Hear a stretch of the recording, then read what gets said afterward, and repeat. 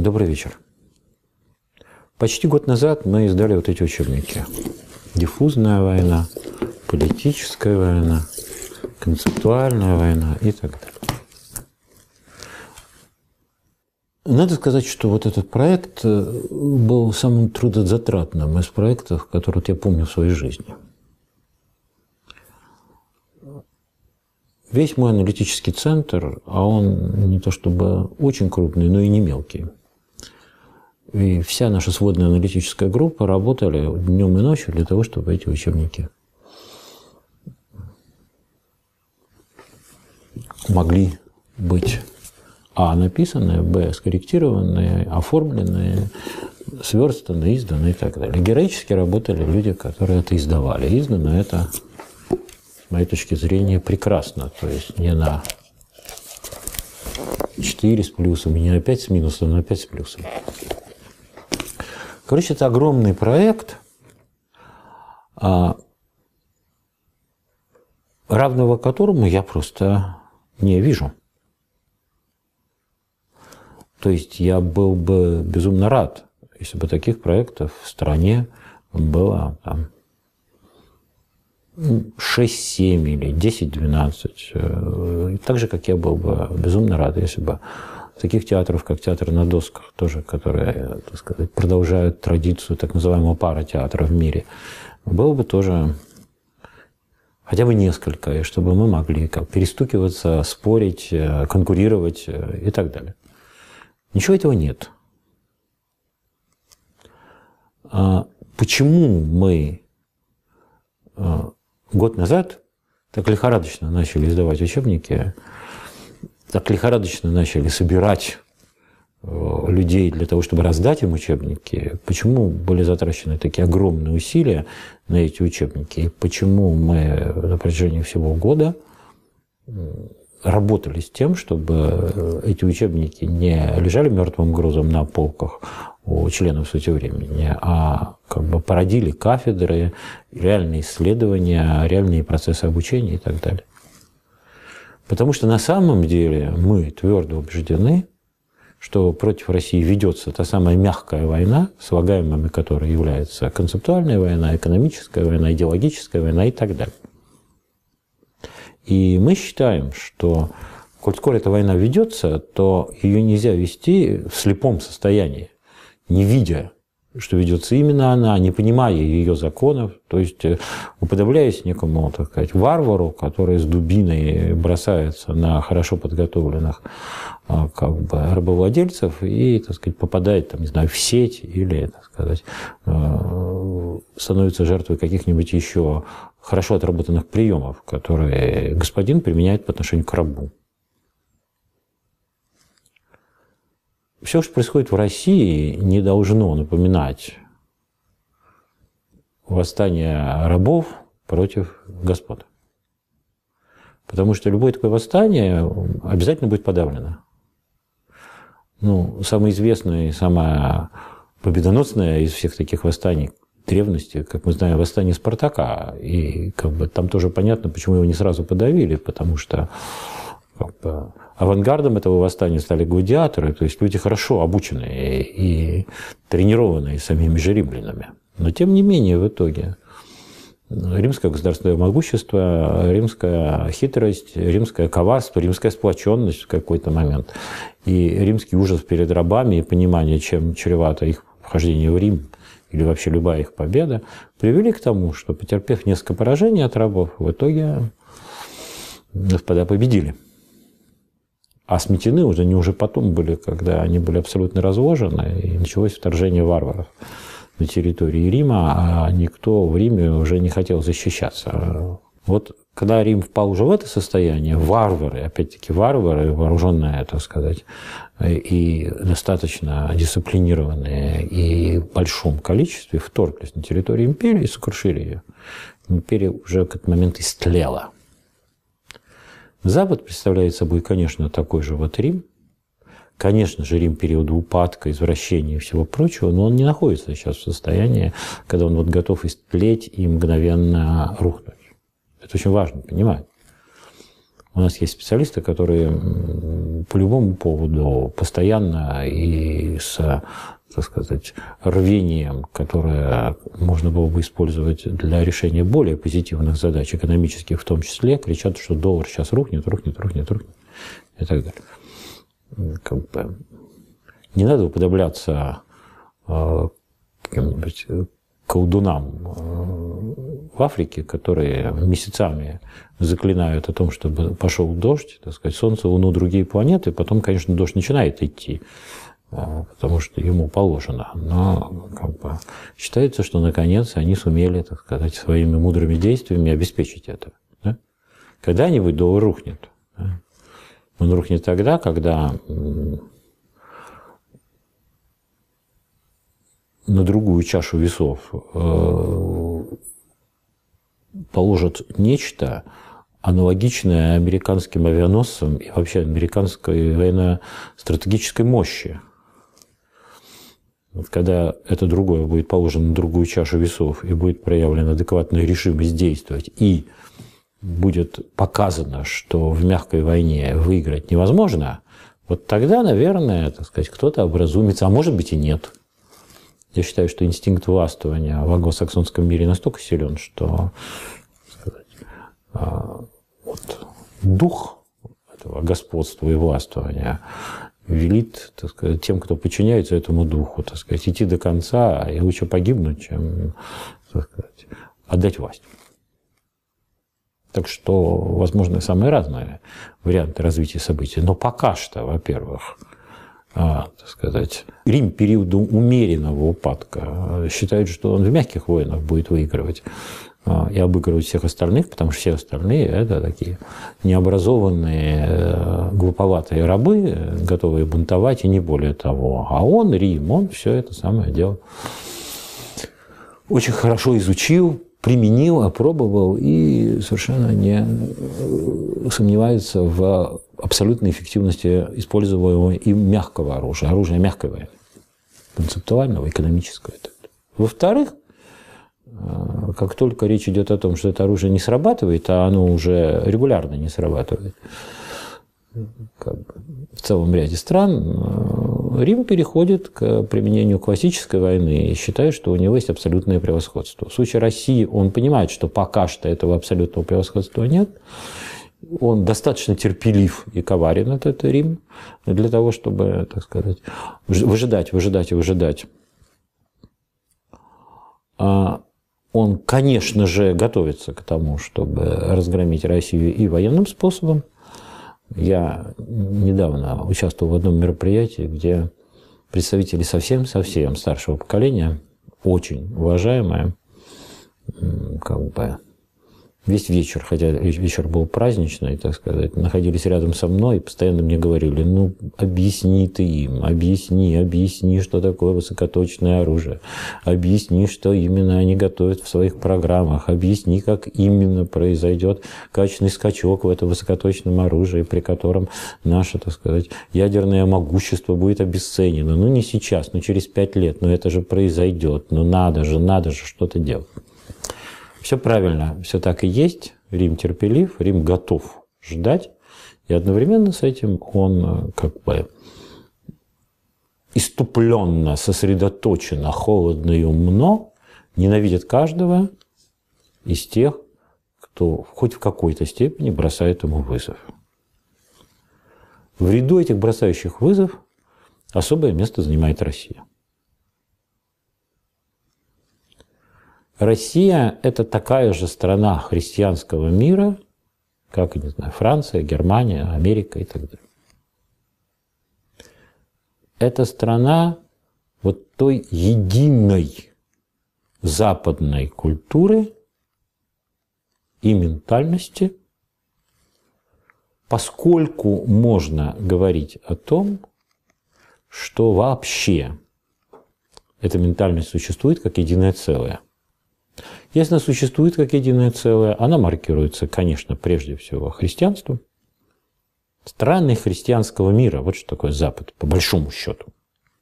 Не будем ссылаться на отдельные как экзотические примеры. Это страны христианского мира – это и есть такая западная цивилизация. Страны как бы изначально, уже в древности, в постантичный период принявшие христианство, развивавшие его, жившие в его, так сказать, духовном потоке, по крайней мере до тех пор, пока у христианства хватало желания и мощи быть силой, образующей историю. Вот ты стоишь в каких-нибудь великих соборах европейских, готических, и ты понимаешь, какая же там купилась жизнь в эпоху, там, не знаю, крестовых походов и так далее. Какой же мощной, страстной силой было это христианство, которое в этом смысле, я здесь использую выражение Хайдегера, было силой, образующей историю. Страны, где христианство являлось так долго силой, образующей историю, составляют некий единый мир – более того, этот мир, будучи христианским, неизбежно так или иначе строит свои отношения с античностью дохристианской, с Грецией и этим самым классическим Древним Римом, а значит и со всей традицией, которая, так сказать, сформировала эту античность. И в этом смысле действительно речь идет о очень давней традиции, как бы, в рамках которого существует и Россия, и Запад. Существуют по-разному. Если говорить об отличиях между Россией и Западом, то они, конечно, опять-таки, поскольку цивилизация христианская единая, или мир, мне больше нравится слово мир, чем цивилизация, значит, то различия как бы определяются тем, что Россия православная страна, а Запад в целом – это католический мир. Разный подход в отношении очень многого из того, что определяет социокультурную матрицу, например, соотношение трансцендентного и имманентного. Да.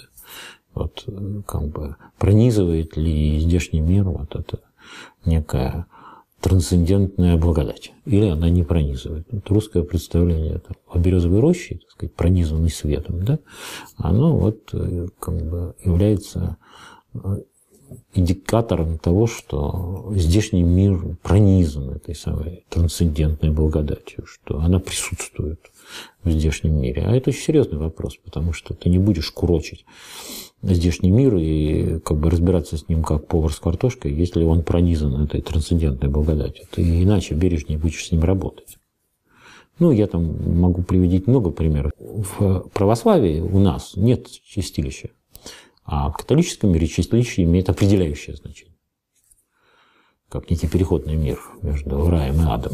И это тоже влечет за собой мощнейшие последствия.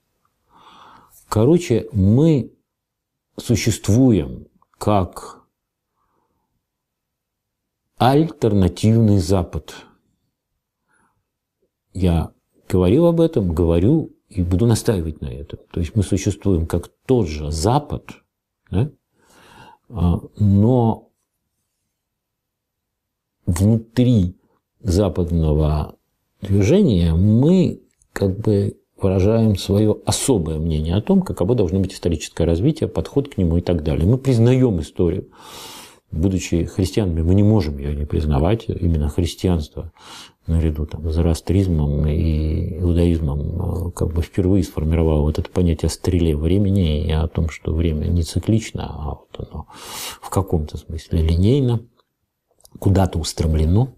Мы находимся в этом историческом мире, что тоже крайне важно – и здесь я могу ссылаться и на Хомякова, и на другие почвенные авторитеты, которые вполне настаивали на том, что я сейчас вот здесь утверждаю.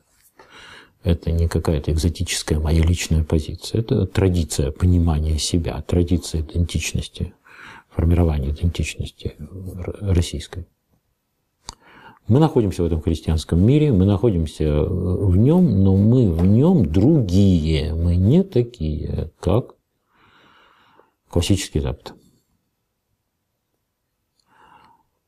Мы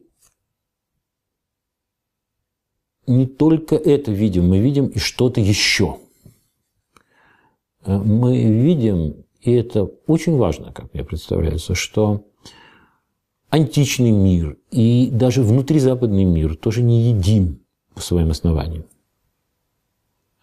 И что именно внутри классического Запада разыгрывался какой-то огромный конфликт, болезненный, невероятно, да, в котором Троянская война лишь эпизод, который был потом растиражирован, так сказать, раскручен, так сказать, являлся чуть не основным на протяжении тысячелетий. Но вот внутри всего этого дела есть какой-то внутренний конфликт, а, в первом приближении он является конфликтом между Римом и Древним Римом и Древней Грецией, но это очень грубо. Конфликт намного тоньше, тоньше. Но даже если взять это приближение и понять, что, так сказать, римляне, так сказать, все время брали на вооружение некую троянскую идентичность именно для того, чтобы противопоставить ее ахейской, греческой, и под этим, так сказать, знаменем расправлялись с Грецией которая не успела даже понять, что именно вырастает с запада от нее, и все время думала, что все основные опасности с востока, из Персии и так далее.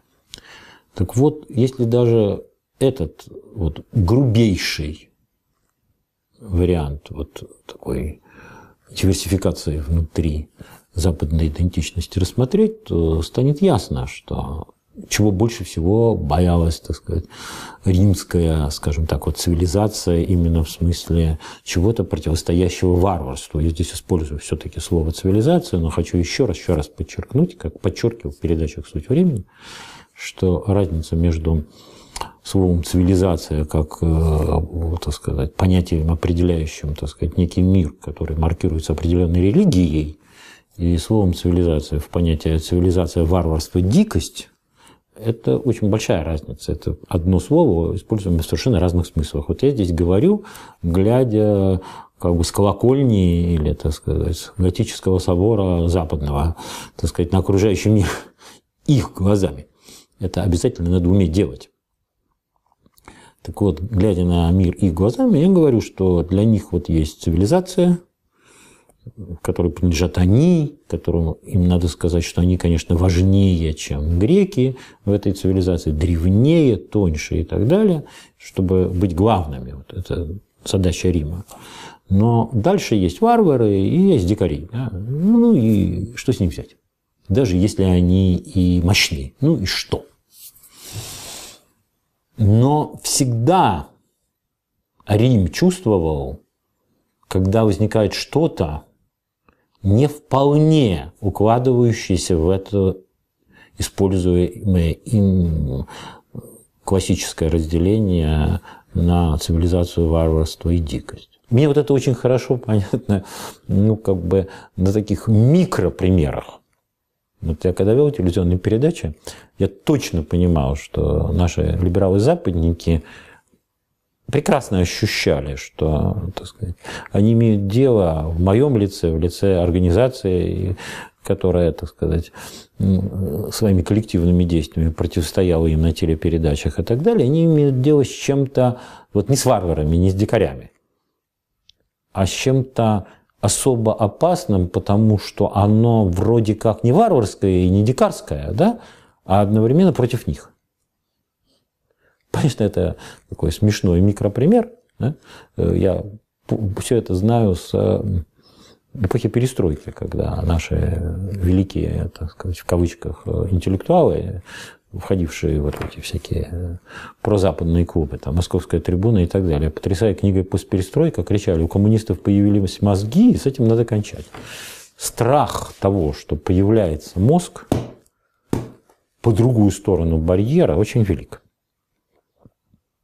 И он появляется.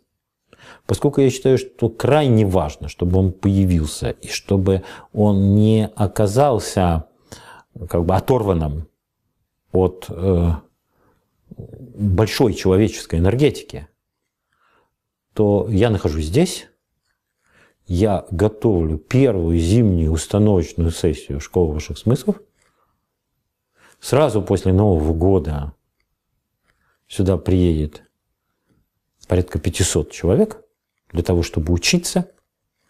Все свои обязательства, которые год назад мы взяли на себя по созданию школы высших смыслов, мы выполнили. Как материальные, мы создали инфраструктуру, так и интеллектуальные, организационные и прочие. Мы выполняли их все это время. На наш призыв реально откликнулись. Люди, которые будут учиться в школе высших смыслов, заявили о том, что они готовы на это тратить все свое свободное время, ну, оставляя э, минимум необходимого для семьи и, как бы, естественно, не прекращая работать. И этих людей немало. Я считаю эту задачу важнейшей, поэтому нахожусь здесь, поэтому я как бы сделал некий перерыв в выпускаемых передачах «Смысл игры», и за это время прочитал, так сказать, массу книг, которые, так сказать, посвящены вот всему тому, чему надо будет обучать как бы, в школе высших смыслов. В этом смысле хотелось бы обратить внимание на то, что под разговоры о том, что вот духовность – это, конечно, удел России, и это в каком-то смысле правда, да, а, произошло нечто весьма и весьма печальное. Конечно, а, как бы пальма первенства во всем, что связано с изучением духовности вообще, духовных кризисов, духовных трансформаций и так далее, перешло к Западу и, как ни странно, к американцам. Американцы, правда, можно им поаплодировать, все это очень упростили, примитивизировали и так далее, но тем не менее они с колоссальным упорством, достойным Рима, этим занимаются. И тут ведь очень понятно, почему, а, так сказать, настоящая Э, элита господства занимается подобного рода вещами для того, чтобы понять других, понять процессы, контролировать процессы и господствовать. Это все именно так. В этом смысле я как бы всегда вспоминаю одного очень известного и выдающегося по-настоящему представителя старшего поколения разведки западной, да, как бы являющегося одновременно другом Фиделя Кастро. Вот он мне говорил, вот посмотри, в чем разница между Великобританией и Соединенными Штатами. Ну, в Соединенных Штатах там какой-нибудь ЦРУшник там приедет в Колумбию что-то порешать на пару лет, уже к концу второго года он беспокоится, что засиделся, потом уедет в Сирию, потом там в Бирму. Если он раз в два года не меняет место, он нервничает, чувствует, что теряет карьерный рост и вообще какую-то динамику. А ну, какой-нибудь британец он сядет где-нибудь, и пока, я прошу прощения, я цитирую, его зад и стул не сольются воедино, он с места не сойдет. И будет все знать до конца, потому что империя хочет знать. Я еще раз обращаю внимание всех собравшихся на эту фразу. Ее сказал очень крупный человек. Империя – это когда хотят знать. Разумеется, мало знать. Надо, чтобы эти знания были переданы как бы людям, чтобы они были соединены с живой человеческой энергией. Этим мы занимаемся, поэтому находимся здесь, поэтому передача ведется отсюда, и поэтому она будет иметь определенный характер. Какой же именно? А, дело здесь заключается в том, что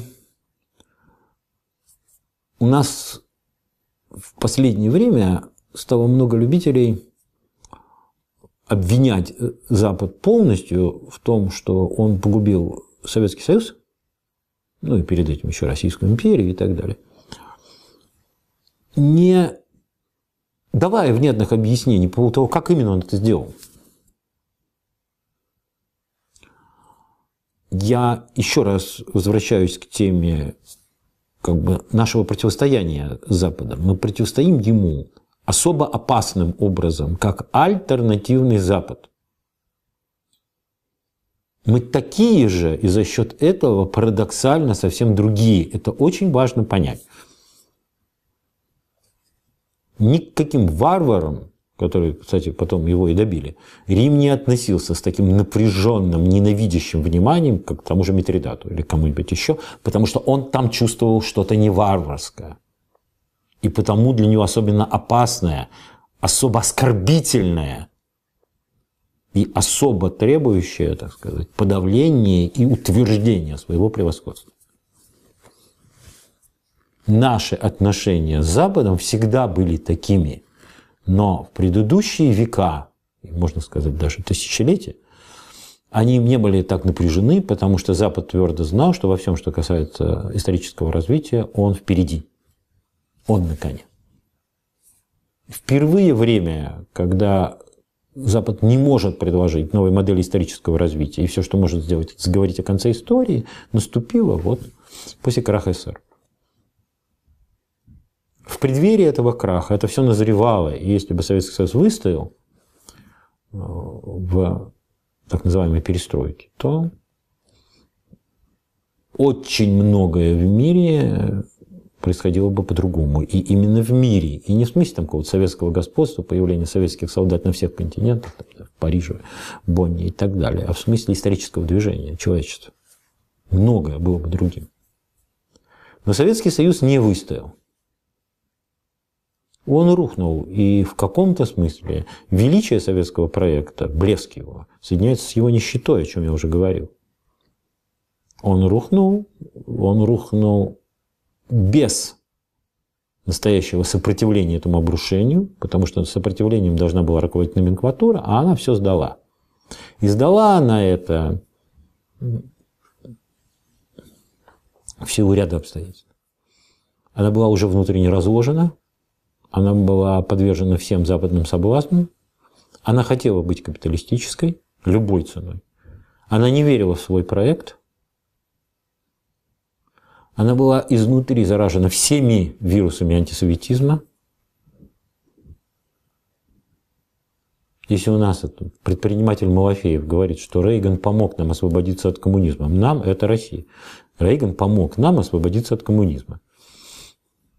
Ну, значит, э, эта элита прямо говорит, что она действовала вместе с Рейганом, который помогал. Ведь в эту элиту входит и часть нашего престарелого разведсообщества откровенно и много еще кто. С чем мы имеем дело? Мы имеем дело с глубочайшим внутренним разложением.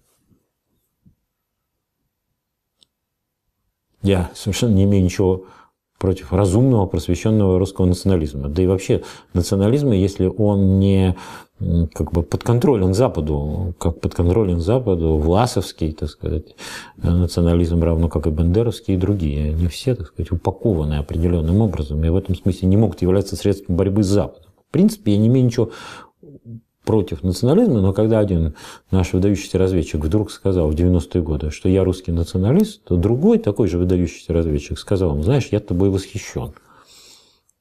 Я восхищен тобой дважды. Я восхищен тем, как вовремя ты обнаружил в себе это качество, и я восхищен тем, как мастерски ты скрывал его от своих товарищей по партийной организации. Далее вот эти представители той же Малафеевской группы, они же просто подробно рассказывают о себе все. Говорят, в таких случаях он рассказал лошади все. Когда люди хотят нравиться, они ведь много рассказывают, если внимательно следить за тем, что они рассказали, то все становится ясно, что там либо борьба с Западом, либо эти умонастроения. Тут одно с другим несочетаемо.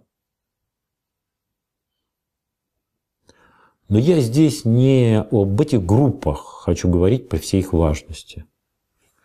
Я здесь хочу говорить на самые серьезные темы в своей предновогодней как бы, передаче.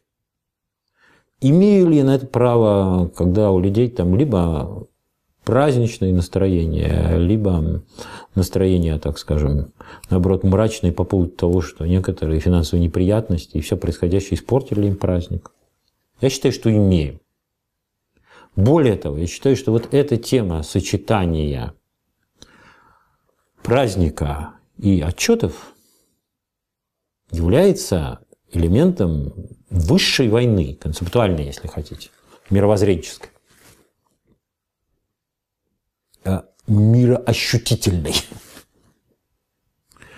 А, и в этом смысле я совершенно не пытаюсь превращать, так сказать, тех, кого я обсуждаю, в так сказать, демонов, хотел бы обсудить вот, творчество нашего выдающегося советского кинорежиссера Эльдара Рязанова. Я, кстати, делаю это не первый раз. Я знаю, сколько он популярен, я знаю, как, сколько много людей с, с удовольствием смотрят его фильмы, и я знаю даже, что среди этих людей есть еще и такие люди, которые вполне считают себя советскими, а радуются тому, как тонко, лирично и прочее, э, как бы Эльдар Рязанов показывает этот советский мир. Но вот э, давайте я под другим углом зрения буду это обсуждать, никоим образом, так сказать, не желая там э, с кем-то сводить счеты, а просто обсуждая это в, вот, в плане той войны, которая велась, ведется и будет вестись. Вот понятно, что каждый художник имеет право на какое-то свое видение мира, на то, чтобы рассматривать мир через определенные, так сказать, там, неважно, розовые или какие-то другие очки, чтобы так под определенным углом. Все понятно. И тем не менее война ведется. Велась, ведется и будет вестись. И вот посмотрим на некоторые фильмы Рязанова под этим углом зрения. Я думаю, что это для нас сейчас важнее, чем обсуждать какие-то частности, особенно, коль скоро мы говорим а об особой войне, б о Новом годе и в о том, что мы входим в Новый год, который будет годом ужесточения этой войны, безусловно. Тут никаких вопросов нет, и я думаю, что все с этим согласны. Итак, вот фильм «Карнавальная ночь». В этом фильме а который вышел в 1956 году, то есть в год вот хрущевской десталинизации, которой многие радовались и которая постфактом все больше и больше обнажает свое зловещее содержание. В этот год вышел фильм, в котором главным героем были такие молодые советские люди, которые рвутся к празднику, к э, искреннему, теплому человеческому веселью, к танцам, песням, ну, к такому элементу э, необходимого во всем этом легкомыслия, словом, ко всему тому, что является мягкой формой карнавала. И фильм-то называется «Карнавальная ночь». Да? К тому моменту не были еще изданы книги Бахтина о карнавале, но уже об этом говорили в узких кругах. Я знаю это просто Моя мать работала в Институте мировой литературы. Примерно представляю себе, когда именно начались разговоры о Бахтине. Но дело не в Бахтине. Дело в гораздо более долгих и важных процессах, которые развивались в самых разных видах общества. Процессы эти, по большому счету, носят метафизический характер, и поэтому их можно называть частью метафизической войны есть неразрывное соединение духа и души. До тех пор, пока они связаны неразрывно, вот вместе они вот так вот, как я сейчас руками показываю, да? и в это вот соединение, в эту связку ничто не вклинивается, чтобы ее разорвать, общество очень сильно. Ведь мы же не можем сказать, что древние эллины, древние римляне, древние персы или кто-нибудь еще не праздновали вообще ничего. Не радовались, что не было вообще никакой такой частной человеческой жизни. Но эта частная человеческая жизнь была в существенной степени сопряжена, а в общем-то и подчинена жизни гражданской, если говорить о э, как бы эллинах, или жизни государственной, так сказать, если говорить там, о Персидской империи, неважно общему. Она была подчинена общему. Это общее и было духом, а это частное было душой. Я очень грубое провожу разделение, но оно здесь вполне работает. И враг, кем бы он ни был, я здесь это обсуждать не буду. Он все время стремился вклиниться в это, оторвать одно от другого. И на определенных этапах истории с великими обществами, великими мировыми системами. Именно это и происходило. Они вот так вот вдруг начинали разрываться на автономную, выражающую автономные претензии душу, которая представала против духа. И говорит, что ты лезешь, вот, чтобы меня подчинить или вот так меня с собой мощно сопрячь. А я не хочу, я хочу вот здесь отдельно побыть.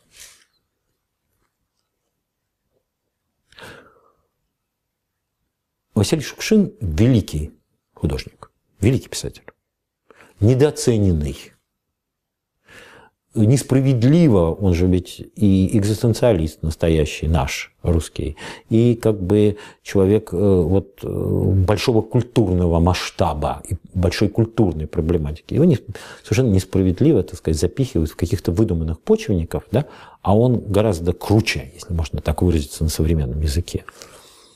И вот когда его герой говорит «праздника хочет душа», и одновременно там я вам устрою Бердельера разбег в ширину, да? и потом, так сказать, а, женщине, которую он полюбил, никем не могу быть в этой жизни только вором, да, то тут Шукшин угадывает, что это очень крупное.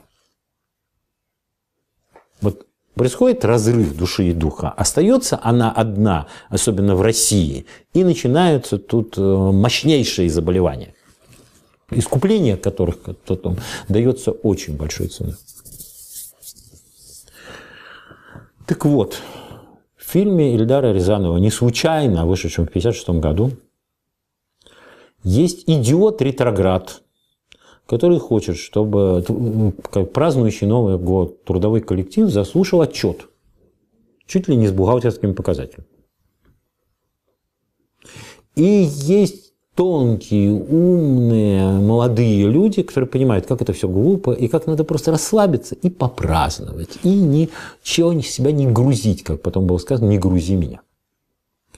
Идиот показан красками такой жесточайшей комедийности, он высмеян, он туп, э, труслив, э, как бы запрограммирован на прошлое, так сказать, э, он смешон как бы внешне, внутренне, по манере одеваться и по всему остальному. А просто такой ну, идеальной антитезой ему являются вот эти легкомысленные молодые люди, которые хотят только веселиться.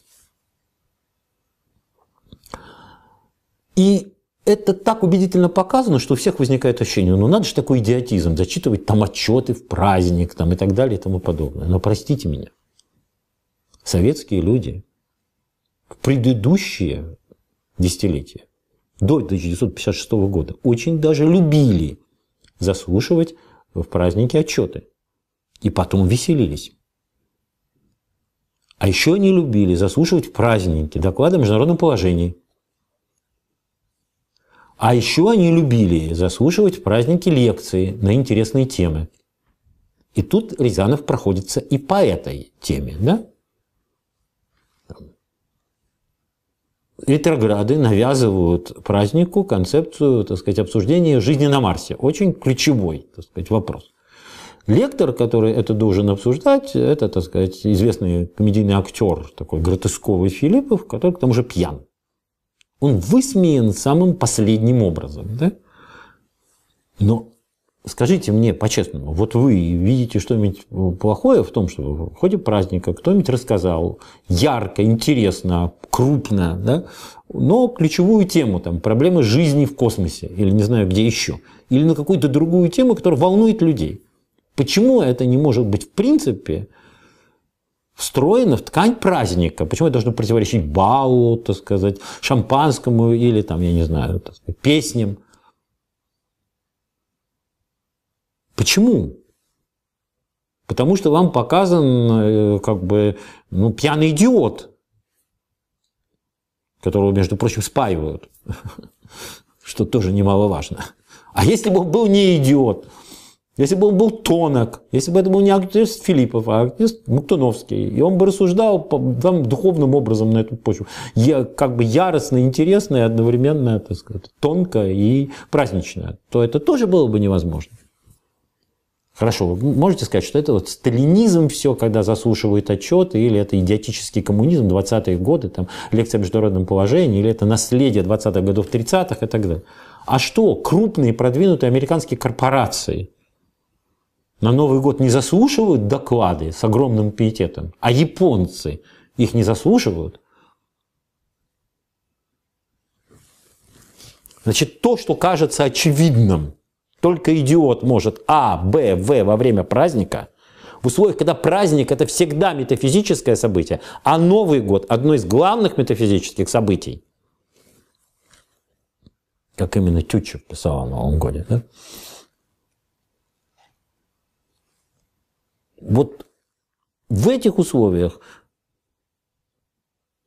Рязанов берет, противопоставляет одно другому, разрывает эту ткань именно в 1956 году и навязывает великому советскому миру лирико-интимно-душевную позицию, противопоставляемую позиции духа. Дух отупляется, оглупляется. Ведь дух это не обязательно, так сказать, какие-то там высшее нечто, спиричуал и так далее. Это вот то, о чем я говорю. Вот это все общее, гражданское, державное оглупляется, выводится из праздничной жизни, противопоставляется празднику,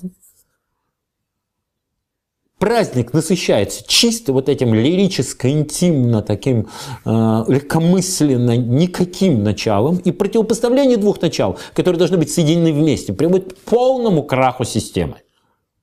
Но они же приводят не только к полному краху советской системы. Они и древнюю Персию так разрушили, и древнюю Грецию, и древний Рим,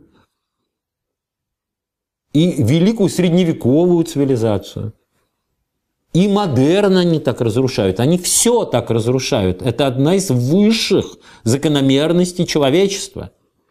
Это разрушение. При этом заметьте, как сильно в последние 10 лет в России меняется содержание разговоров. Люди устали говорить о чем-то, в чем есть смысл. Очень страшно об этом говорить. Да? Вдруг обнажается что-то, что хочется скрыть. И все разговоры защитительно ведутся по поводу того, кто куда съездил, кто что купил и так далее и тому подобное. Да? Начинается это все с лиризма, и вот этого освобождения от духа. Но потом-то внутрь всего этого дела приходит страх, смертный и иной, тоска. И глушить-то ее можно только вот этим тупейшим гиперпотреблением, которое делает цивилизацию или мир все более и более беспомощным, более и более беспомощным. Наконец он разлагается до конца, можно взять голыми руками, потому что не выдерживает никаких нагрузок. Никаких. Не готова ни на какие риски не готова на какие издержки. А почему не готова? Вот в значительной степени по этой причине. Ведь это же есть. И песни. Вот советская цивилизация, в смысле советский мир, прошла этап такой накаленной духовности, революционной, потом классицизма сталинского и так далее, потом барокко и так далее, и потом она дошла вот до того, что я в синий троллейбус сажусь на ходу. Все, только лирический мир, только вот это внутреннее, это вот эта интимность, только все это, только бы не было песен там, ни кочегары мы, ни плотники и так далее и тому подобное, ни производственных, ни героических, никаких других, только вот это все же героическое постепенно все больше приобретало в условиях этого разрыва черты такой официальной государственной помпезности, вялой изнутри, э, носящей на себе черты такого гротеска, легкой уязвимости и всего остального. И тогда возникает вопрос, как именно разрушалась советская цивилизация, советский мир в ходе мягкой войны? Разрушалась системно. При этом использовалось, поскольку все это длилось достаточно долго, принцип последовательных приближений, трансмиссий, передач. Голос Америки и, там, не знаю что, радиостанция «Свобода» грубо, концентрированно гнали некий разрушительный яд, выдавая его за правду жизни, да? и кто-то его заглатывал. Но этот кто-то, заглотив его, прекрасно понимал, что он-то не может выдать то же самое на гора другим своим обществу, потому что они отторгнут. Значит, вместо того, чтобы так это все выдать, он что-то там преобразовывал и в другом виде выдавал. Так, чтобы и цензура это приняла.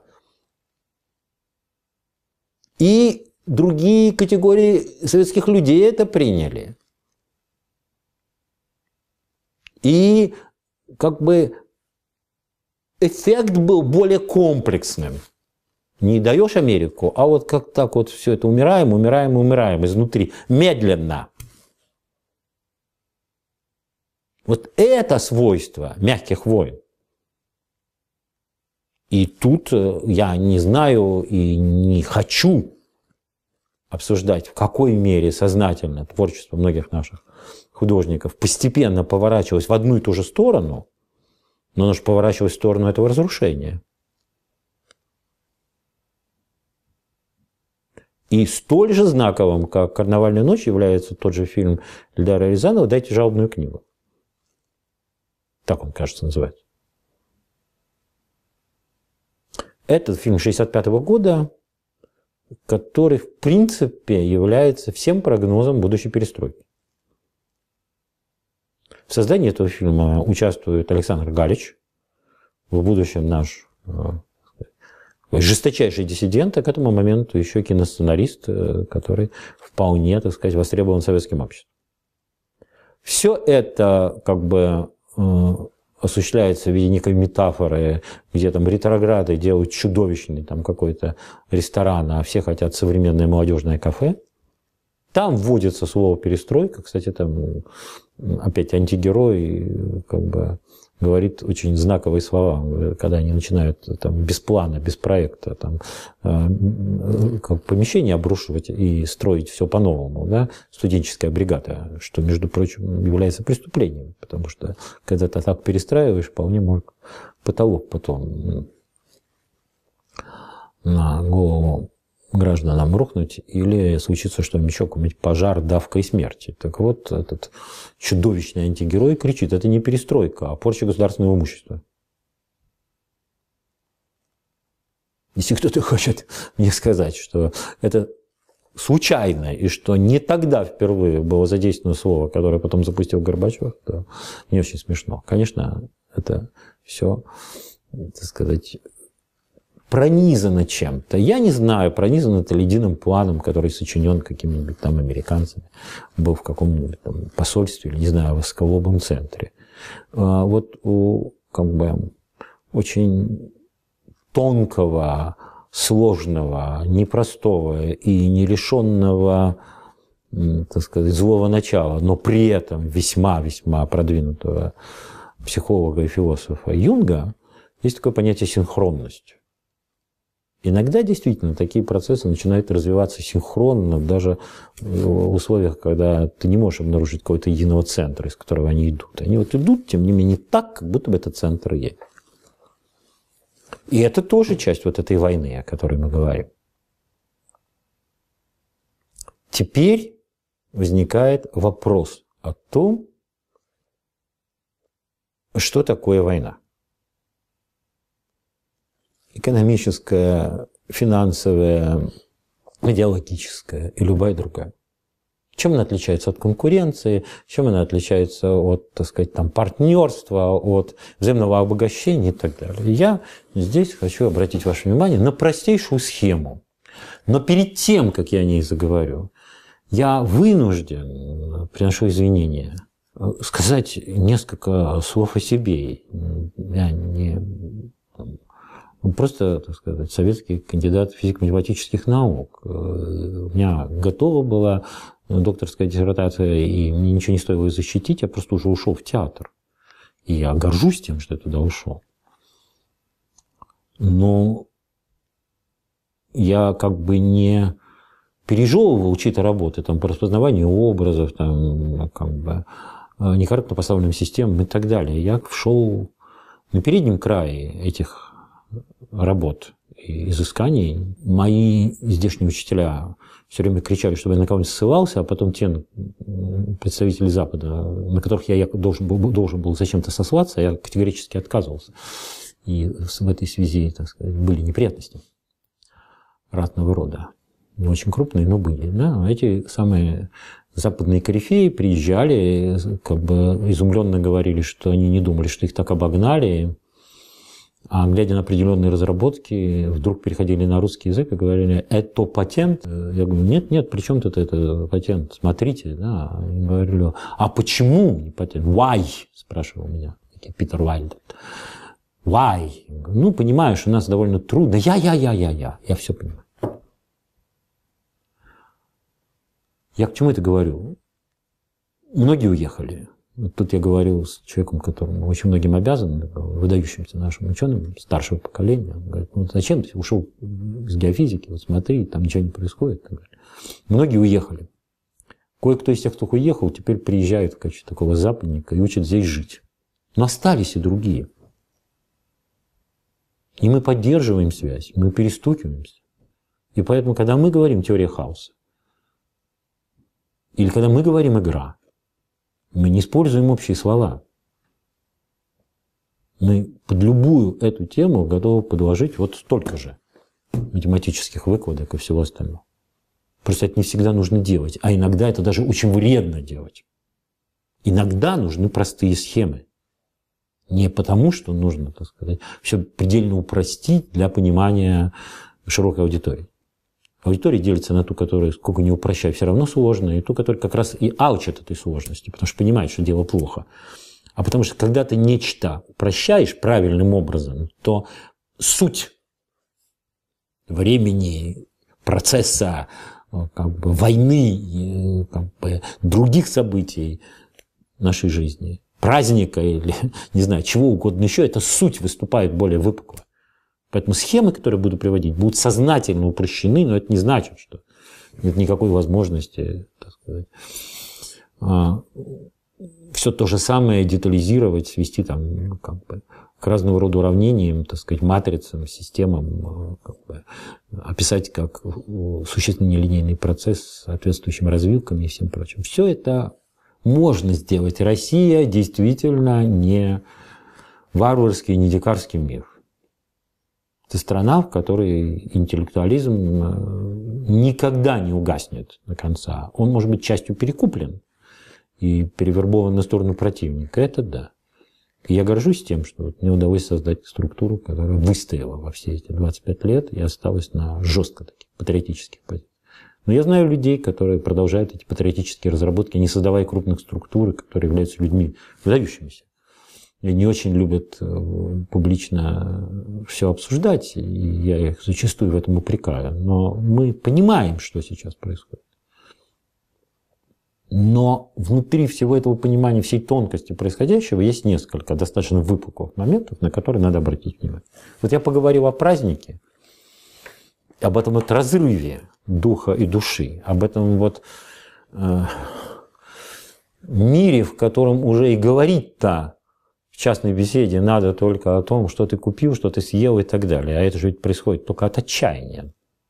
Кстати, я хочу обратить внимание и на контртенденцию. Если раньше наши там представители элиты а, хотели всегда, так сказать, на праздниках, так сказать, просто выставить побольше еды и сильно принять на грудь, то теперь сознательно там создаю какую-то, включаются в эти праздники, там концерты, фильмы, что-то еще. Контртенденция есть. Другое дело, что это берется как бы взаймы, и так э, погалечу все, да? А потом под огурчик, пропустив стопоря, да уж песня в ажурчик приглашали не зря. Но это, в принципе, тенденция уйти от чистой такой обжираловки, такой сианабатии, да, так сказать, гигантского пиршества, так сказать, а-ля Рабле, к чему-нибудь, имеющему культурные элементы, она есть, эта тенденция, но нету всего, что связано с духом, да, и со счет этого и культура это становится песней Важурчик приглашали не зря, да, и соответствующие люди, которые на таких мероприятиях нечто исполняют, чувствуют себя крайне неловко, да, да и сами они, пристраиваясь к этой норме, они теряют волевую мышцу, духовную мышцу. И, соответственно, это сказывается и на их творчестве. Да. Вот все это очень важно и потому, что я говорю перед Новым годом, и потому, что это является явным слагаемым осуществляемых противником мероприятий. Потому что если дух есть, и это вместе, то можно выдержать определенные как бы, напряжения. То определенные издержки являются допустимыми. А если духа нет, и все это все время находится вот в этой, так сказать, рязановской душевности в собственном соку, да? в себе и для себя, как сказал бы какой-нибудь из представителей немецкой идеалистической классики, то тогда ничего нельзя. Любые издержки становятся неприемлемыми. И вот тут я перехожу к категории войны. Война – это такие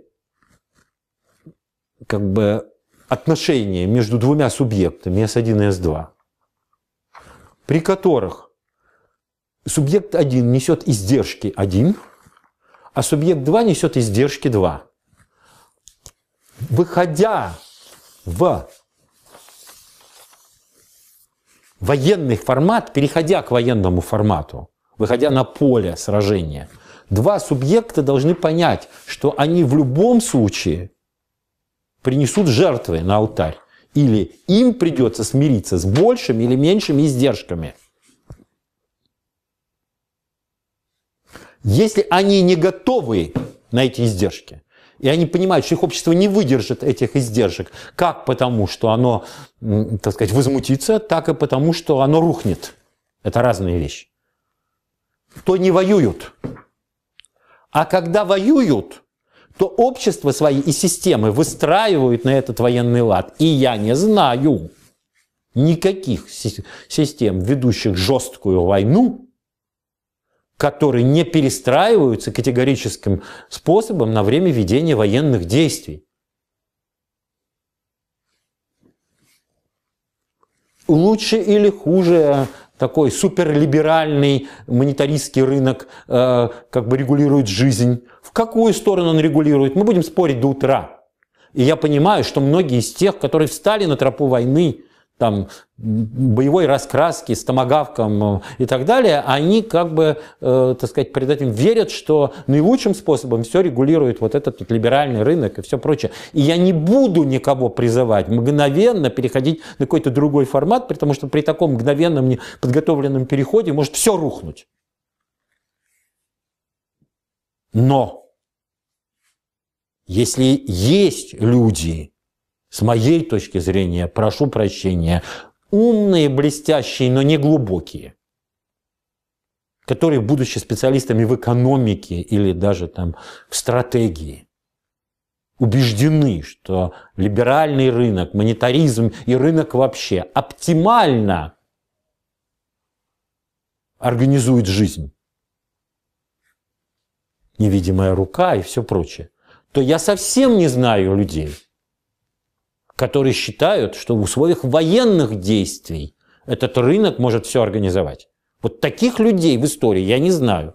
Если они есть у нас сейчас, среди тех, кто эту экономическую жизнь должен организовывать, то это уже не э, приверженность каким-то как бы не очень для меня убедительным мировоззренческим э, как бы э, подходом.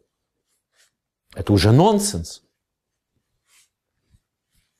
Итак, война – это так сказать, такая ситуация, при которой два субъекта осознают, что они будут нести издержки, что им станет хуже, и что после того, как один из субъектов победит, а оба субъекта, ведя войну, рассчитывают на тот или иной вариант победы, они эти издержки восполнят с лихвой – а заплатит проигравший.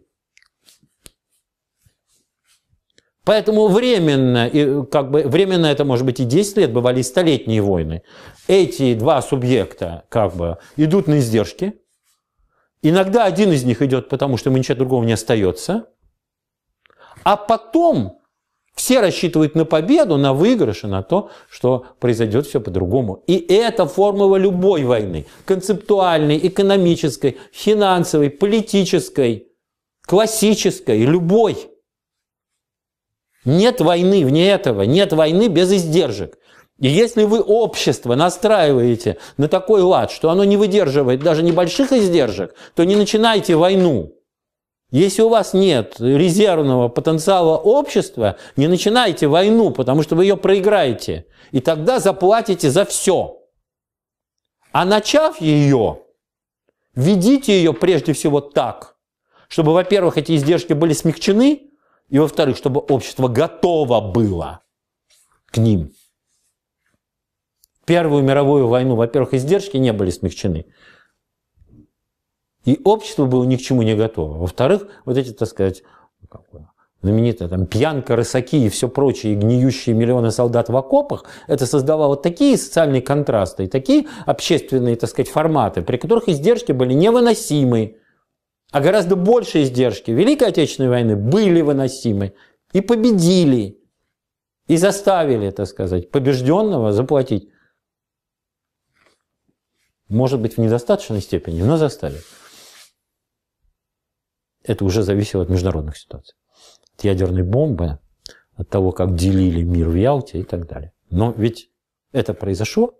Вот когда идет конкуренция, партнерство или что угодно, то есть приобретение, и люди обсуждают, как мы эти приобретения будем делить. Кто больше получит? А когда речь идет о войне, то идет все только на формате издержек. Только в формате издержек, иначе ничего делать невозможно. Это азбука войны. Азбука.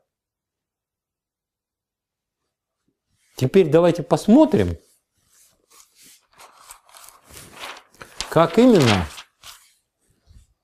осуществляются действия в решающем для нас измерении, в том, что касается цен на энергоносители. Я здесь нарисовал специально уже сгладив очень многое, то, как вот, какова была динамика цен с 1998 года до 2015, вот, начинающегося, да, до конца 2014. При этом я рисовал от руки и уже сглаживая что-то. А Подобного рода сглаживания являются не только допустимыми, но обязательными. Есть теория сглаживания, там всякие сплайн-функции и все прочее. А можно сглаживать от руки, ничего особенно не меняется, потому что при этом что-то проясняется. Значит, эти цены были там существенно ниже 20, поднимались до 20-25, потом вот так вот росли, потом тут было что-то, потом они совсем росли, потом они упали, потом они сколько-то держались, и потом вот сейчас они рухнули. Но если вы по-настоящему будете прослеживать не виньетки, а общий процесс, то у вас выяснится сразу, что 98 года по 2008 эти цены вот так росли. В среднем они вот так вот росли. Частные колебания не так важны, они непрерывно росли на протяжении 10 лет. Один раз они упали, но это был мировой кризис. И упали они на очень недолгий промежуток времени. Шли мощнейшие мировые процессы. После чего, в силу того, что и Китай не сбавил темпы роста, и Индия, и так далее, они опять начали расти, восстанавливаться и застабилизировались. Значит, если выкинуть это, это, конечно, нельзя выкидывать, то в целом это рост и стабилизация. Я еще раз подчеркну, что вот это вот был очень мощный выброс, очень похожий на то, что происходит сейчас по масштабу. Но он же происходил в связи с мировым кризисом. Теперь возникает вопрос, а вот здесь снова такое же обрушение фактически, ну чуть меньше, но в сущности такое же, как было тогда, оно стремительное, и я спрашиваю, что произошло, если с июня 2014 года это падение началось? Что произошло? Мировой кризис произошел? Кто-то стал намного меньше, так сказать, что-нибудь производить? Упал интегральный ВВП? Ах да, я забыл, мы э, осуществили, так сказать, мы это человечество, некую сланцевую революцию. Кто-нибудь в это верит? Я занимался геофизикой, повторяю, я занимался ей достаточно профессионально. У меня много друзей сохранилось в этом мире. Кто-то верит в эту сланцевую революцию. Все же понимают, в чем фишка.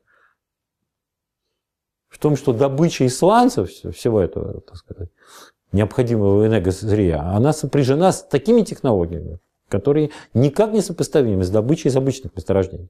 Там воткнул там дырку и качай себе на здоровье сколько хочешь. А со сланцами все не так. Совсем по-другому. Значит, при чем тут сланцы? Они вдвойне ни при чем, потому что именно проблема сланцев и составляет, так сказать, самую главную, так сказать, э, как бы э, такую заковыку во всем, что касается падения цен. Потому что уж сланцевые это месторождения точно разоряются при таком падении цен. А Соединенные Штаты, которые умеют накручивать, да, как вокруг ипотеки, так и вокруг чего всего другого, там деривативы, так сказать, рынки, биржи и так далее, они накрутили сотни, большие сотни миллиардов активов на этих сланцевых компаниях. Не всегда очень больших. Значит, если они сейчас полетят, то никому мало не покажется бюджеты ряда стран, которые, так сказать, эту самую энергию производят, энергоресурсы, они не подстроены под то, что произошло.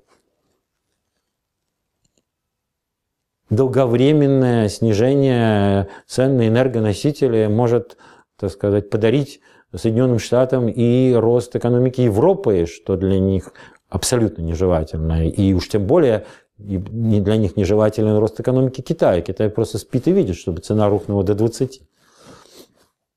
Он взлетит на этом фоне. И Индия тоже. Так что же происходит?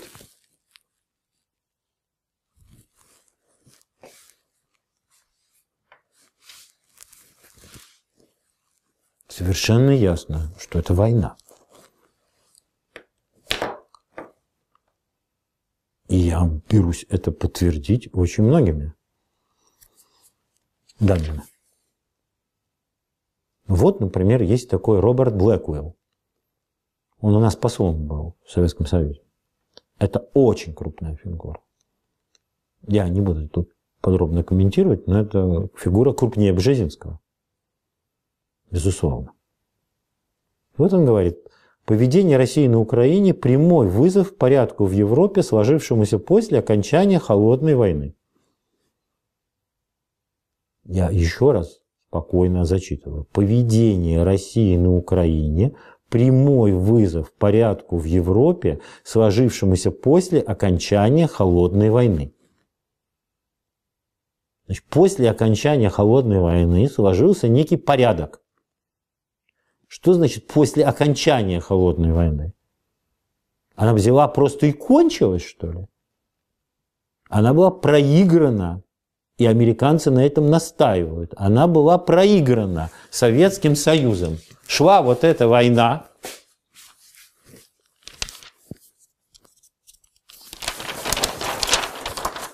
двух субъектов. Оба субъекта несли издержки. Война была преимущественно мягкой или такие небольшие конфликты где-то на периферии, в которых участвовали сверхдержавы. Прямо или косвенно. После этого, так сказать, Советский Союз проиграл, и Соединенные Штаты заставили Советский Союз заплатить.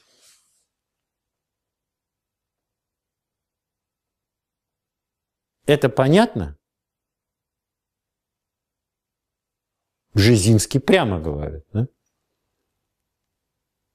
что все будет делаться да? за ваш счет. Россию, СНГ в целом ограбили. Было осуществлено, вопреки всем Хельсинским соглашениям, так расчленение территорий.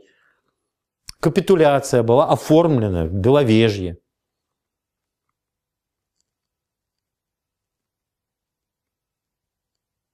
Значит, если Блэквилл говорит, что вот этот порядок сложился, то он тем самым говорит, что вы бросили прямой вызов этому сложившемуся порядку. И мы вам это никогда не простим. Как говорилось другими, так сказать, официальными, но гораздо более мелкими американцами, там, вы там э, ведете себя не так, как должна вести себя проигравшая страна. Мы вам докажем, что это не так. Мы пойдем на все.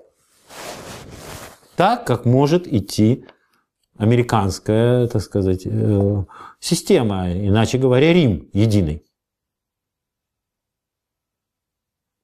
У нас очень много упований на то, что вот Европа отдельно, а Соединенные Штаты отдельно. В принципе, это правильно. Конечно, есть противоречия. И, конечно, в каком-то смысле Соединенных Штатов Европа как огромный такой э, субъект, который ну, сложился-то за счет э, краха СССР, да, во многом, и который, так сказать, тоже попользовался этим крахом, как бы наелся от пуза. Да? Вот как этот субъект, он, конечно, может бросить вызов Соединенным Штатам, и Соединенным Штатам боятся любой страны, которая приближается даже к уровню, с которым он может быть бросить вызов Соединенным Штатам. Население, промышленность, все это правильно. И если, так сказать, а, Европа имеет некоторые противоречия с Соединенными Штатами, то казалось бы, ну и все просто. Если Соединенные Штаты бросят на вызов, объединимся с Европой. Дорогие мои, если два крупных хищника хотят вас съесть, и у них возникают крупные противоречия по поводу того, как вас съесть, то это же не значит, что эти два крупных хищника, один из них является вашим другом. Это далеко не всегда так бывает. Это первое. Второе. Прошу вас, Запомните все, кто это сейчас смотрит, и передайте другим, что Европа фундаментально несуверенна. Фундаментально несуверенна. Соединенные Штаты дали ей развиваться и объединяться, конструируя ее таким способом, чтобы она не была суверенна.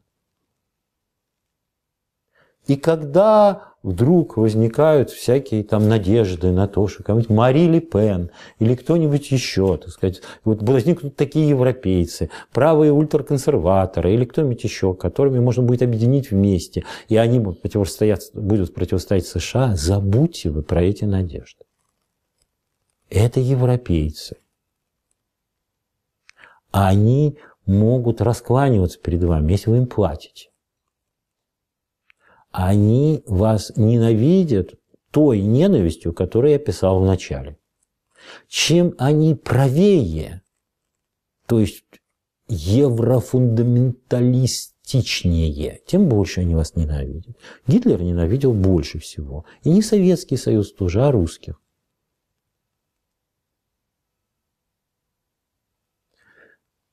Ультранационалисты всегда конфликтуют друг с другом и всегда поддерживают других ультранационалистов там, где им это выгодно.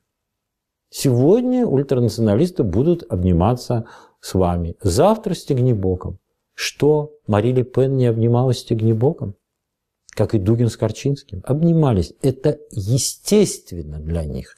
Потому что, когда говорят о черном интернационале, то чтобы какой бы сумасшедший, так сказать, не лепетал по этому поводу, речь идет о том, чтобы создать некую европейскую гегемонию по модели СС, где во главе всего будут стоять современные бурги. Может быть, они будут называться транснациональной корпорацией, или это будут э, транснациональные корпорации с частными армиями и так далее. Где вся территория будет расчленена на регионы. Это не Европа нации, это Европа регионов. Где, соответственно, регионов этих будет много и где Россия действительно будет сырьевым донором, но в виде массы государств, или точнее псевдогосударств, со своими бургами, которые тоже будут построены европейцами. В число этих европейцев могут войти или не войти сильно интегрированные уже на протяжении долгого времени белые мигранты. Могут. Могут они войти, побояться. Вот единственная модель. Европорабощение. Когда вы говорите, мы идем в Европу, то в виде кого? Что значит идем? Если мы идем к тигру, он нас проглотит, то мы же интегрируемся в тигре. Правда?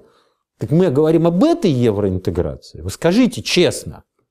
Я понимаю, что очень многие наши как бы вестернизаторы, либералы готовы на эту тип, если они окажутся тигром, а не пищей.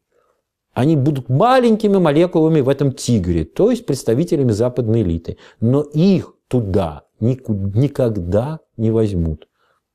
Потому что они с большим вкусом произносят слово элита, совершенно не понимая, что является сущностным, что является сутью элитой. Любой. Как вот здесь сутью войны является вот это.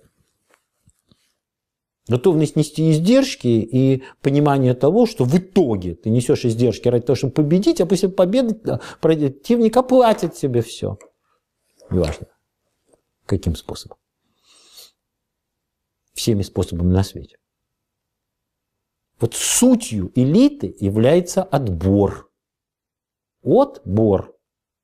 Последовательный, длительный отбор в соответствии с определенными принципами. Те, кто ведут отбор, обладают одним качеством, которое ужасно трудно найти в современной России – стратегической ответственностью. Они берут на себя эту стратегическую ответственность. Никакого отбора в рамках того, что происходит так называемой нашей западнической другой элите, нет. Это люди, с хорошим хватательным инстинктом, достаточно бойкие, такие, обладающие вот этим вот агрессивно-экспансионистским драйвом по отношению к всему, что связано, так сказать, хапнуть, переварить. И не обладающие всем остальным, чем должен обладать представитель элиты. Они в элиту не войдут никогда. Я не говорю о том, что и в Америке, если это касается русских, и, так сказать, э, тем более в Европе, которые гораздо консервативнее, полноценными гражданами станут внуки, те, кто туда переедет, внуки. Если события не начнут развиваться путем обострения войны между Россией и э, Западом.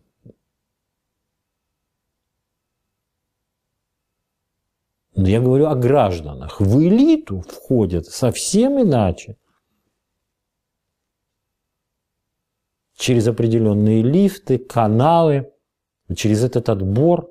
И никакого отношения наши западники, так сказать, даже обзаведшиеся там крупными усадьбами где-нибудь в Англии или где-нибудь еще, к элите тех стран не имеют. И они никогда не будут воспринимать их как элиту. Ни свою, ни даже чужую. Потому что они видят, что отбора нет.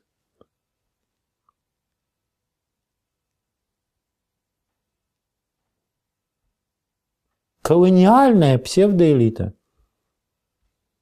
Это максимум после порабощения. Причем поскольку порабощение России будет жестче, чем любой другой страны, окончательно я имею в виду решение русского вопроса, то я сомневаюсь, что там останется то место, которое было там, не знаю, для индийских раджей там, или для кого-то еще. Но уверяю вас, в эпоху Британской империи это было очень унизительное место.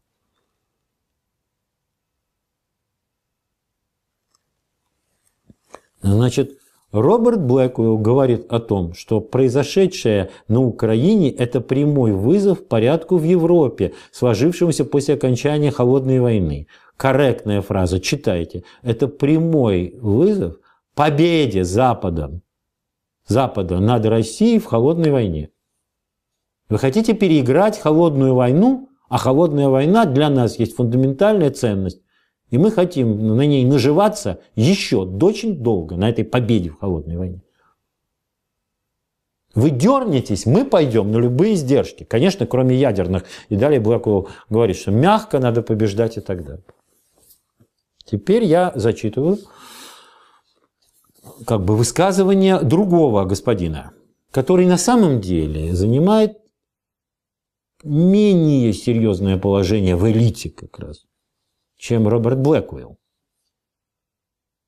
который Блэквилл с точки зрения позиции в элите находится очень высоко. И потому более осторожен.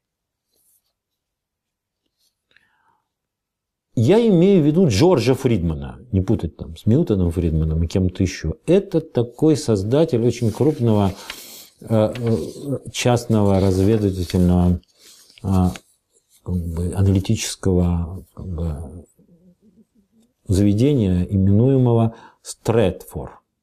Вот этот Стрэдфор, который часто называют теневым ЦРУ, я думаю, что ему далеко до теневого ЦРУ, но довольно крупное такое начинание.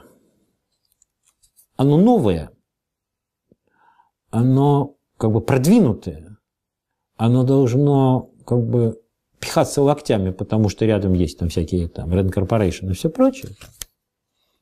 И в этой связи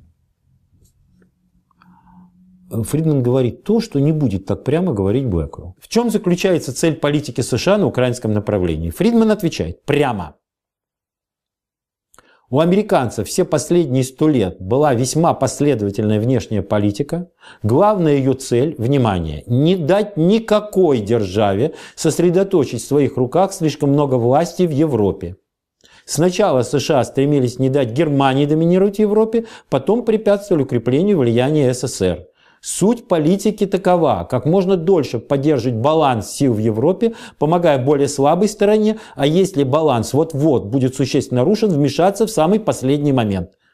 Так США вмешались в Первую мировую войну после отречения Николая II в 17 году, не дав усилиться Германии. И во Вторую мировую войну США открыли второй фронт лишь очень поздно, в июне 44 после того, как стало ясно, что русские берут верх над немцами.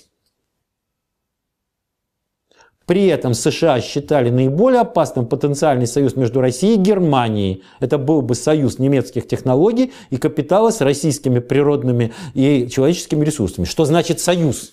Гитлер тоже хотел союза немецких технологий и капитала с российскими природными ресурсами и русскими рабами.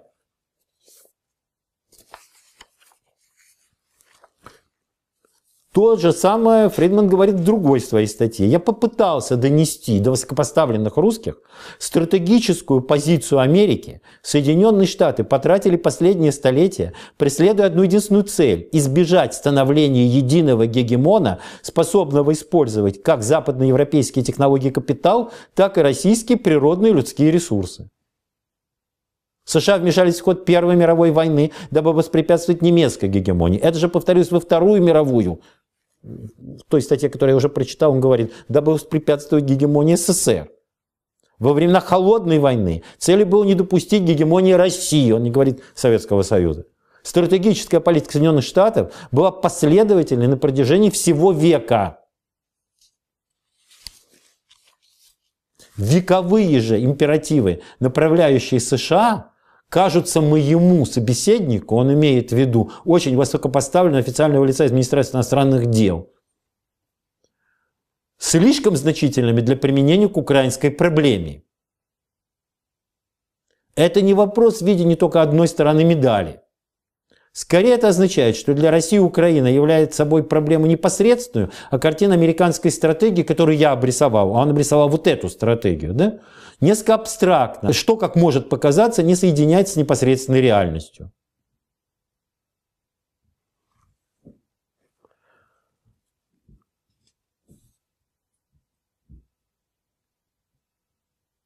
Русские будут довольны некоторой степенью автономии для русских на территории Восточной Украины. Какова степень, не знаю. Им нужен существенный жест, чтобы защитить свои интересы и подтвердить свою значимость. Их аргумент о региональной автономии, существующей во многих странах, убедителен. Но в истории имеет значение сила, и Запад использует свою силу, чтобы жестко давить на Россию. Но, очевидно, нет ничего опаснее, чем раненый медведь. Лучшая альтернатива – убить его. Однако история показала, что убить Россию нелегко. До Соединенных Штатов Любая восходящая сила в Евразии запускает автоматический ответ, являющийся порождением вековой истории. Каким бы сложным ни было понимание этого для русских, но примерно полвека холодной войны сделали США гиперчувствительными к возможному пробуждению России. Имеется в виду реальное пробуждение. США потратили весь прошлый век, препятствуя объединению Европы под одной враждебной силой. То, что предлагает Россия, что боится Америка, очень разные вещи. Теперь скажите, если Соединенным Штатам нужно, чтобы любой ценой не сформировалось вот это единство данного субъекта, то для них столь же страшно, если Европа поработит Россию. Для них страшно любое это объединение. им не важно, это Гитлер, это коммунисты или это какой-нибудь европейский либерал. Какая разница? Все же сказано. Теперь добавьте к тому, что сказано, фразу Блэквилла.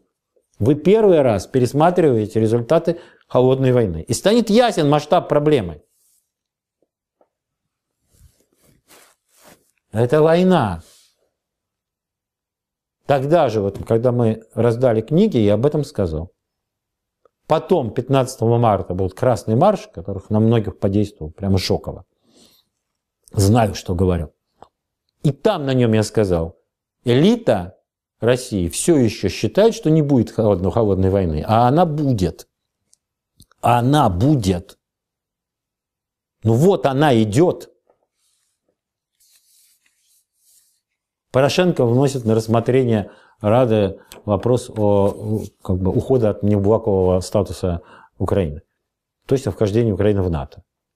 Если реально происходит это вхождение, то мы уже проиграли, все кончено. Если натовские ракеты станут в том же Днепропетровске, где-то еще, надо кончать, надо сдаваться. Значит, нельзя допустить этих ракет там. Нельзя. И Фридман опять-таки тут много достаточно говорит о разных способах, с помощью которых это можно не допускать. Он там говорит о том, что Россия все время создавала буферные зоны, и что ее принцип защиты – это масса буферов да, и так далее и тому подобное. Мы пока что прошли по лезвию бритвы. И если мы удерживаем буферную зону и развиваем ее, а если мы ее не развиваем, то мы ее теряем. Развиваем, я имею в виду, экономически, социально, культурно, политически, комплексно, военным, создаем там настоящую армию, то у нас есть возможность, единственное, по-настоящему выиграть. Потому что настоящий выигрыш заключается в том, чтобы Киев признал наши условия. Чтобы при любых издержках результатом была наша победа, и тогда наши приобретения будут больше, чем издержки. Но сейчас-то придется идти на издержки. Я только декабрьский и несколько вам продемонстрирую, так сказать, э, высказываний, которые тоже говорят о том, что это война. Госдеп не видит противоречия между решением президента США Барака Обамы подписать законопроект, позволяющий вводить дополнительные санкции против России, и словами госсекретаря страны Джона Керри о конструктивных шагах Москвы в отношении Киева, сообщила во вторник руководитель пресс-службы Госдепартамента Джен Псаки. Ну, можно сколько угодно смеяться над этой Псаки, но вопрос же не в этом. Можете сколько угодно смеяться над тем, так сказать, э, как именно разговаривает попугай. Но попугай пытается передавать текст хозяина, и в основном без искажений. Были положительные, некоторые позитивные шаги, но я не хочу преувеличивать их. Они оба, Обама и Керри, считают, что есть действия, которые Россия еще не совершила. Она еще не признала поражение.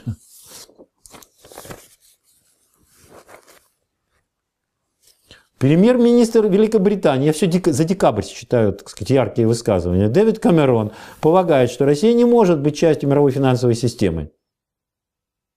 Соответствующим утверждением выступил в британском парламенте. Цитата. «Мы были в первых рядах тех в Европе, кто добился введения санкций. Сочетание низких цен на нефть и санкций показывает, что Россия, по моему мнению, не может быть частью мировой финансовой системы, если не соблюдает нормы международной правовой системы», сказал Камерон в ответ на вопрос одного из депутатов Палаты общин относительно событий на Украине и отношений между Западом и Россией. Интересы Соединенного Королевства и демократии идут рука об руку. Мы должны очень твердо противостоять российской агрессии, которая сейчас происходит утверждал глава правительства Великобритании.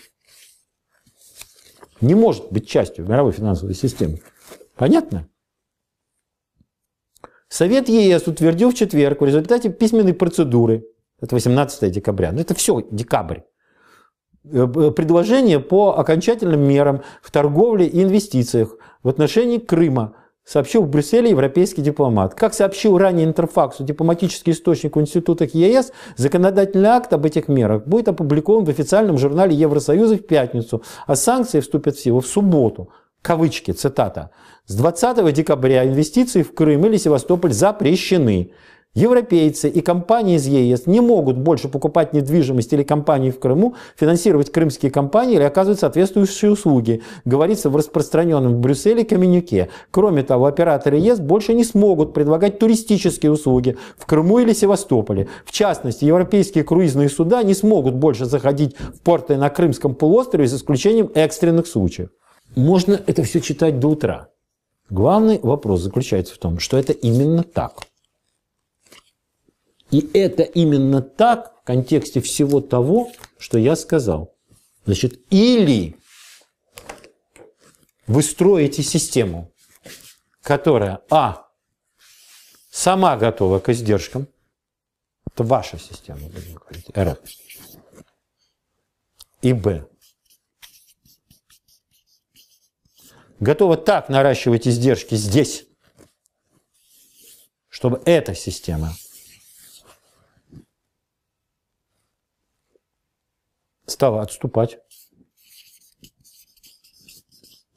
Тогда вы выиграли и заняли совершенно другое место. Но придется платить. Потому что система, с которой вы взаимодействуете, сильнее. Мы фактически оказались в ситуации Крымской войны. Хотя, конечно, есть Китай, есть Индия, мир другой. Но с точки зрения Запада в этой ситуации, мы не были в этой ситуации ни во время Первой мировой войны, ни во время Второй мировой войны. И забудьте, я еще раз говорю, забудьте все иллюзии. В том числе и с какими-то милыми карикатурными правами, которые что-то там будут перед вами расшаркиваться, и при этом думать о том, как именно вас уничтожить. Тут правые, демократы, все одно и то же. Вот это Нефтяная война. Теперь два слова по поводу финансовой, которой придается огромное значение. По существу Запад ликует по поводу того, что он, так сказать, делает с точки зрения финансовой. Ситуация, которая произошла у нас перед интервью, которое Владимир Путин давал журналистам, носит совершенно особый характер. Но эта ситуация не может быть рассматривана как бы как естественное продолжение некой тенденции, которая носит совсем другой характер. Я еще раз подчеркну, что я прекрасно понимаю, как пишутся там многомерные уравнения кризисов, какие именно, так сказать, методы существуют решения этих кризисных уравнений и все прочее. Но давайте все, кто этим занимаются, так сказать, я этими уравнениями занимаюсь не как профессионал-экономист, а как математик, который должен заниматься процессами в целом. Мои коллеги, вот Юрий Вольфович Бял и другие занимаются этим, как люди, которые уже десятилетиями эти кризисы расковыривают, рассматривают под микроскопом и все прочее понимаем мы все. Но есть ситуации, когда очень сложные системы ведут себя как системы достаточно простые. И та система, которая сейчас, так сказать, нами выстроена, то есть выстроена в России, я скажу, нами, мы ее не строили, всячески как бы протестовали против ее выстраивания. Вот эта система, такая минималистская, либерально-рыночная, она обладает непро... простым набором регуляторов. И ведет себя так, как будто бы многоканальный, сложнейший процесс является на самом деле одноканальным, простейшим. Она себя так ведет.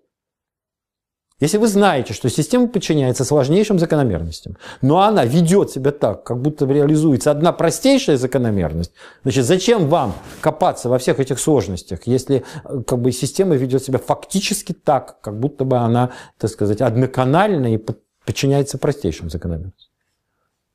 Закономерности, которым подчиняется система, я называл, я говорю их очень коротко. Бюджет наш формируется за счет продажи энергоносителей. Я понимаю, что он формируется за счет других параметров тоже, но он формируется существенно за счет продажи энергоносителей. А ведет себя наша экономическая система так, как будто он формируется только за этот счет. Цена энергоносителей стала вдвое меньше. Никаких существенных корректировок бюджета мы себе построить не можем. Значит, Рубль стал вдвое дешевле, потому что в рублях-то бюджет нужен тот же самый.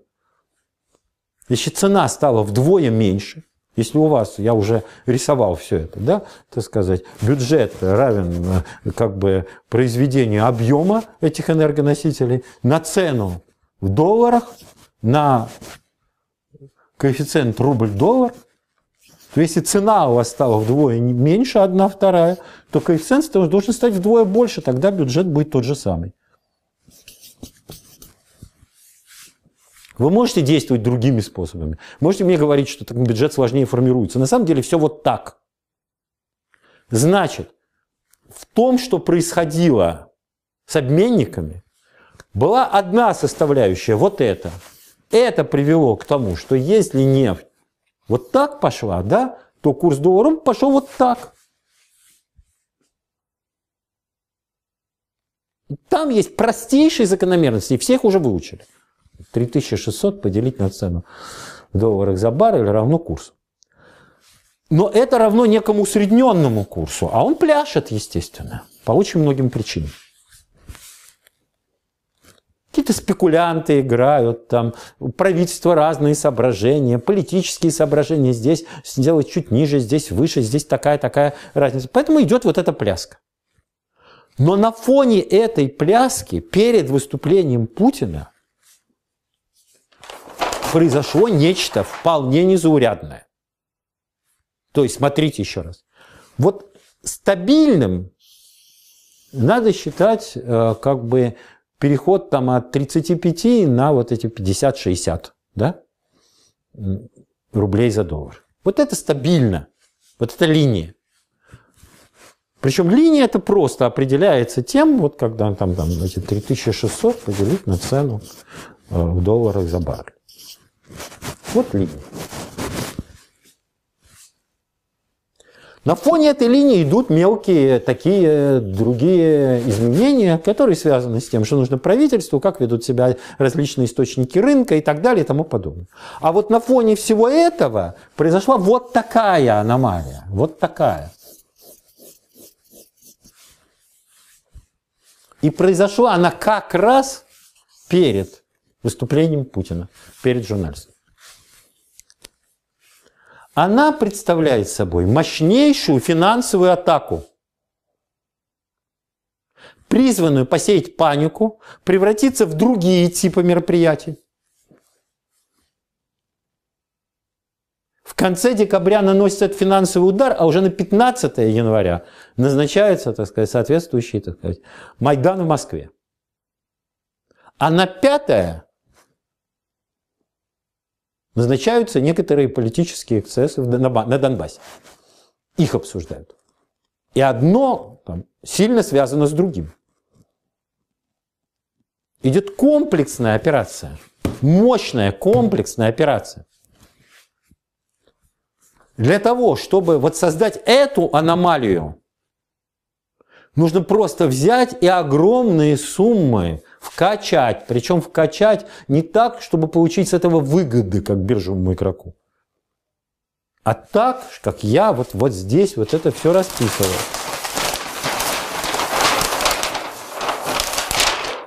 То есть так, чтобы принести издержки противнику. Вот взять, вкачать сюда, неважно, там сотни миллиардов рублей, да? Дать возможность противнику проиграть, самим потерять на этом 20% вкачанных денег, но за счет проигрыша противника очень много выиграть. Так может позволить себе действовать только политический субъект, имеющий финансовые возможности. Никто больше. И вот этот процесс ничего общего с банальными не имеет.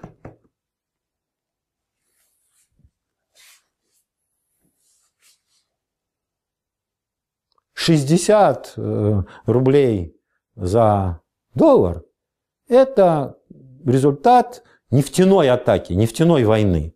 Это автоматически переходящий в соответствующую финансовую политику.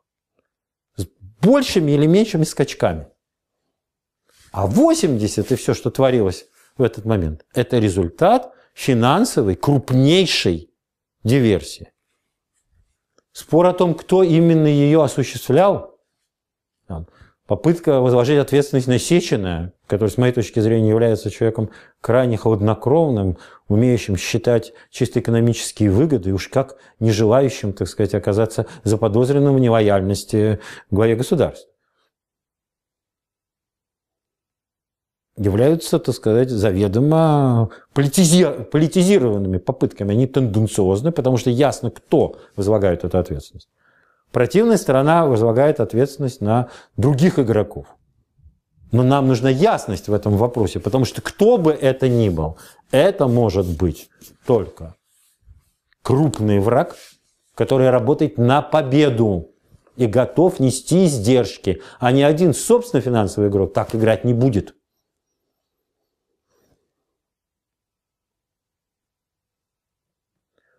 Кроме того, эти события напоминают и события в Турции, и события в Латинской Америке, и очень многое другое. С таких запусков начинались многие очень комплексные деяния, э, призванные переиграть в целом ситуацию, так сказать, войной. Это не первая война, которая идет. Значит, мы имеем дело и с этой войной тоже –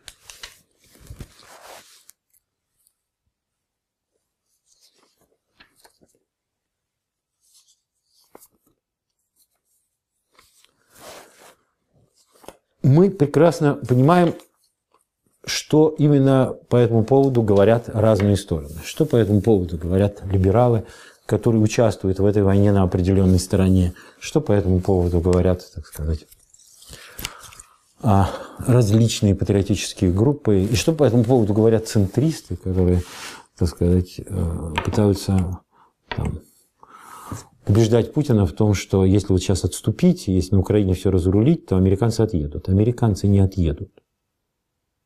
Никто никуда уже не отъедет. Процесс приобрел необратимый характер. И в этой связи нужно понять, что именно происходит. На протяжении очень долгого времени –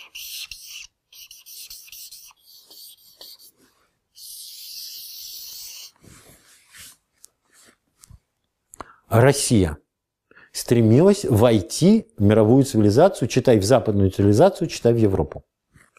Это, безусловно, была политика Андропова. Сомневаюсь, что этой политике там, так сказать, другие группы оказывали полноценное сопротивление.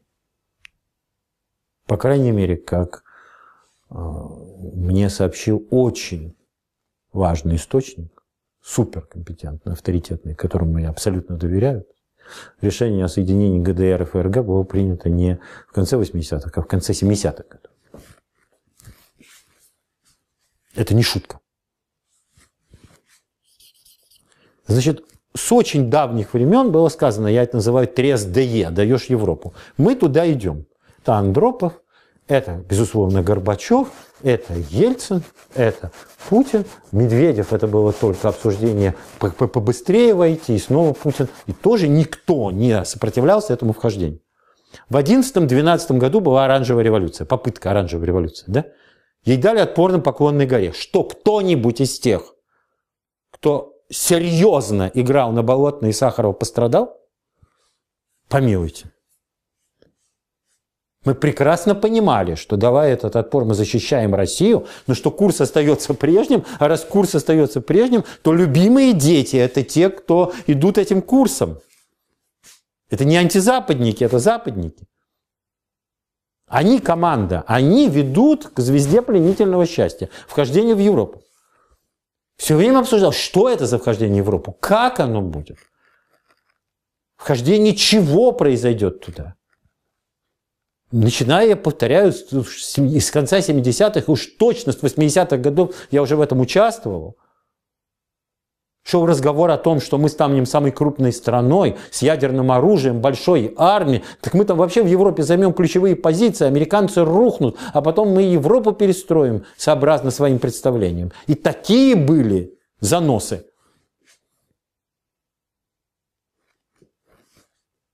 При этом в подтверждение того, что сказано этим Фридманом, я, как сказать, имея все полномочия для этих бесед, беседовал, так сказать, еще до 91 года с одним из представителей прямых Джорджа Буша старшего, и когда там пошел разговор по поводу вот этих, так сказать, германских амбиций в части, так сказать, попользоваться э, как бы, российскими сырьевыми возможностями и всем прочим, и совершить вот это нечто такое, как бы, интеграцию в немецком желудке, так сказать, было сказано, если такая попытка будет осуществлена, то будет ядерная война в Европе.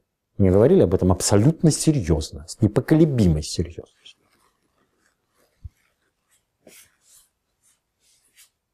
Значит, не только первый, как бы, но и второй, шел вот так. В Крыму это все повернулось вот так.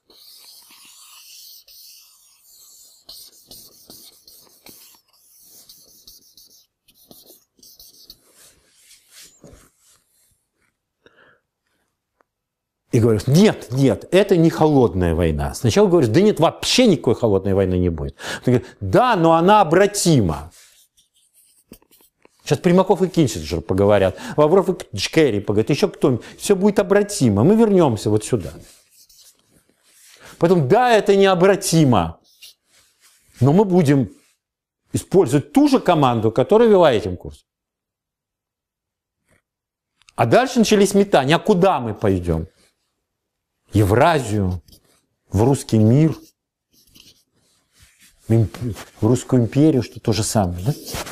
Или почти то же самое. Русский мир, так сказать, для националистов это даже и никакая не империя, да?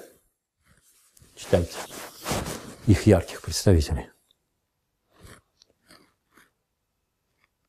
Совершенно ясно было при этом, что если куда-то идти, то именно в это СССР 2.0. И идти туда можно только если ты действительно повернул. А вот этот поворот будет происходить ну, в обратную сторону, то это невозможно. Что это Евразия? Станет либо халифатом, либо понятно, да, там, так сказать, там, каким-нибудь империей Чингисхана, да и не успеет стать, как уже рухнет что никакая Евразия с европейцами и все эти упования на все эти черные интернационалы невозможно, потому что европейцы хотят, ну, так сказать, иметь э, Евразию по тому принципу, по какому это хотели псы-рыцари. Тоже хотели Евразию. И Гитлер хотел Евразию. А что касается, так сказать, всех этих русских миров, и всего прочего, то сегодня они рухнут гораздо быстрее, чем они рухнули в 2017 году, и это понятно.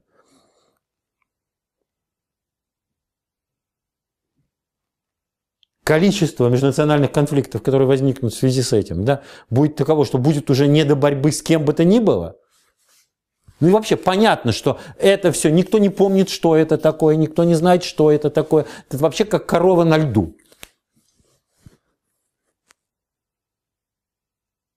Я по своей бабушке и ее подругам очень хорошо помню, что такое институт благородных девиц. По преданиям. И все остальное, что определяло там существование как бы, молодых девушек из имперской аристократии. Я не понимаю, почему надо называть институтами благородных девиц, э, так сказать, вертепой, создаваемые новыми русскими, еще страшнее русским средним классом. Никакой разницы особенно нет. Олигархи или средний класс. Просто чуть-чуть э, по-разному замешаны вертепы. И то же самое, да? Мы хотим сражаться с фашизмом, мы хотим, так сказать, говорить о том, что мы, так сказать, э, э, там дадим отпор, как в Великую Отечественную войну, и при этом, так сказать, у нас будут эти самые кадетские корпуса имени Йордана, что ли, который сам говорил, что мои деньги сделали здесь то, что, что мои предки не сумели сделать, воюя против Советского Союза. Куда идем? Ясно, что вот этот поворот возможен только в случае, если, так сказать, э, произойдет свержение Путина. Одномоментное или там трехфазное. Брэд Уэйт хотел бы это сделать в три фазы. Добиться уступок, потом усилить уступки, а потом эти уступки, так сказать, станут несовместимы с существованием Путина. Кто-то хочет в одну фазу. Все остальное невозможно. Не потому, что мы этого не хотим, это не отвечает нашим представлениям о процессе. Мы никогда не скрывали, чего мы хотим. И всегда 10 раз готовы были пожертвовать тем, что мы хотим, ради того, чтобы спасти Россию в ее нынешнем виде, как бы он несовершенен не был, этот вид. Но сейчас происходит то, что происходит. Мы не можем вести войну в экономике, которая не выдерживает этих издержек. Они стремительно выводят деньги из страны. Для одной экономики в этом достаточно много плюсов. Для другой экономики это катастрофа. В одной системе ответов мы выигрываем, в другой системе ответов мы проигрываем. Не могут люди которые все время думали только о том, как этим курсом идти, я имею в виду команду Чубайса и многих других, не могут люди, которые только об этом и думали, осуществлять вот э, что-либо это, или это, или это, неважно. Они сюда вот не понимают, они вообще не понимают, что это такое. Я вам объясню, насколько это серьезно. Если вы идете вот этим курсом, то силой, образующей историю, является Запад. Вы отказываетесь от субъектности в высшем смысле, то есть от высших слагаемых суверенитета. Не вы решаете, какая семья нужна в России. Вы входите в некое семейство стран, и там единое представление о семье. И в этом системе говорить о традиционной семье бессмысленно, потому что если семейство стран, в которые вы входите, осуществляет ювенальную юстицию, то и вы будете ее осуществлять. А вот если вы противостоите этому и говорите, что это семейство стран занимается, так сказать, античеловеческой мерзостью и посягает на основные условия жизни человечества, то вы должны предложить другую семью, а также все другие ценности. Но это-то значит, что у вас должна быть подлинная, концептуальная и прочая субъектность. Понимаете? Концептуальная и прочее.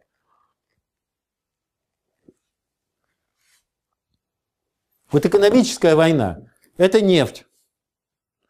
А политическая война это то, что будет происходить после того, как упала нефть, и вместе с нею, так сказать, э, произошли эти все игры с долларом и рублем, что будет происходить на Майдане. Вот они связаны в единство. А вот здесь вот будут, так сказать, в этой диффузной войне, сейчас новые вспышки эксцессов на территории. То, что произошло в Грозном, часть этих начинающихся эксцессов. Но есть еще концептуальная война.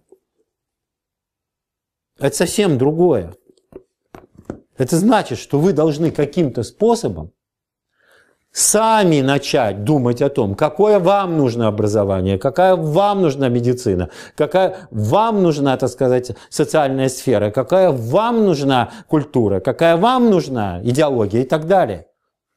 Все. А этого всего нет. Идти здесь, это значит правильно переводить с английского на русский, чуть-чуть осуществлять косметические поправки – и после этого предлагать в Думу законы. А идти вот так, это значит самим писать эти законы, сообразуясь с каким-то принципом, в какой-то единой системе действий. А в условиях войны, так простите, еще в мобилизационной системе действий.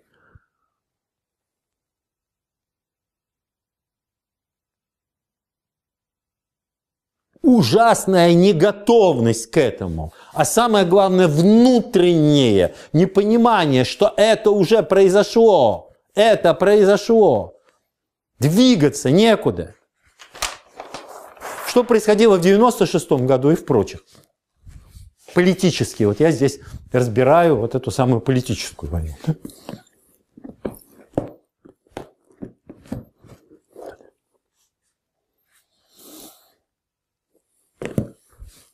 И не только в 96 году, да? Вот есть общий спектр. Здесь есть либералы, здесь есть белые, ну, там, антикоммунисты, здесь есть центр.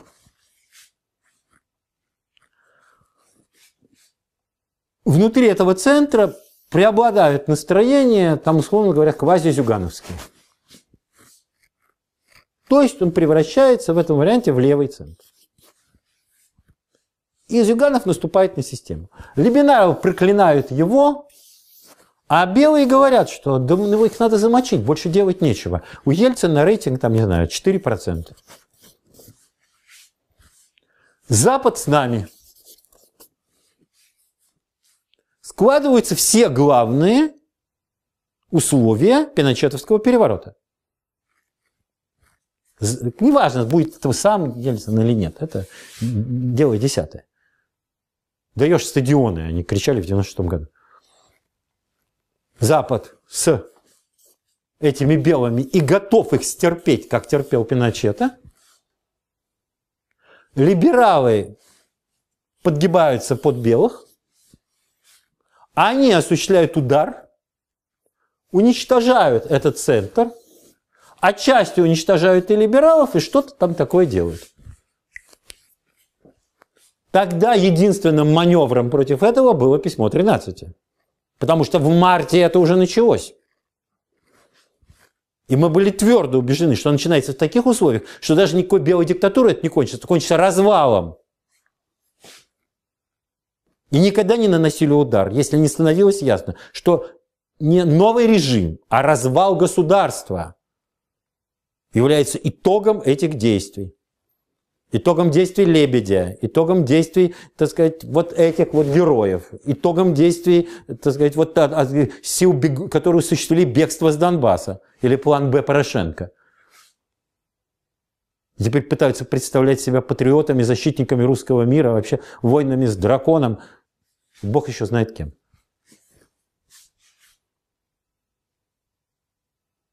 Понимаете, когда люди занимаются реконструкциями или ролевыми играми или еще чем-то в этом духе, у них всегда ментальность, философия туристов.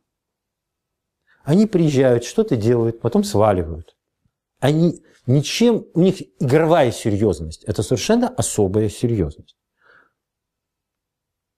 Они не понимают, что это уже не игра. То, что происходит на Донбассе, не игра. Это очень серьезное действие, в котором мы должны воевать, точно понимая, где находятся пределы прочности данной системы, что мы хотим выиграть, какими способами можно выигрывать. Это не спектакли, разыгрываемые мы в поле на потеху себе и немногим собравшимся. И не телевизионный шоу. Это страшная, тяжелая, мучительная работа. бегство с Донбасса оборачивалось мятежом. И это понимает каждый вменяемый человек. А также крахом государства. Теперь я рассматриваю эту ситуацию. В этой ситуации что было? В этой стране Запад был на стороне Ельцина. Запад был на стороне Ельцина.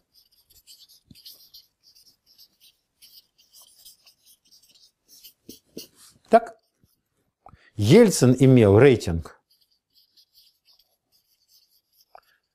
примерно 4% стартовый. КПРФ контролировал левый центр.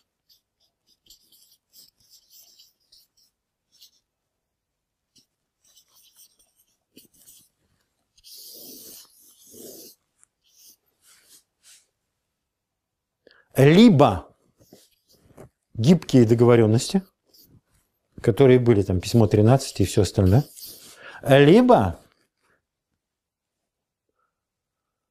ну, квази-пиночетовский мятеж, потому что на самом деле как бы э, героем этого мятежа становился сам Ельцин, который э, выводил войска и все прочее. А дальше уже в ход вступал полноценный пиночетовский фактор.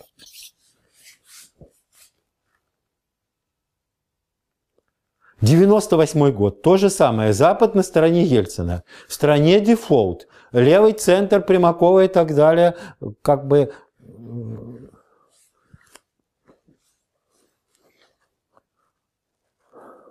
контролирует широчайшая общественная группа.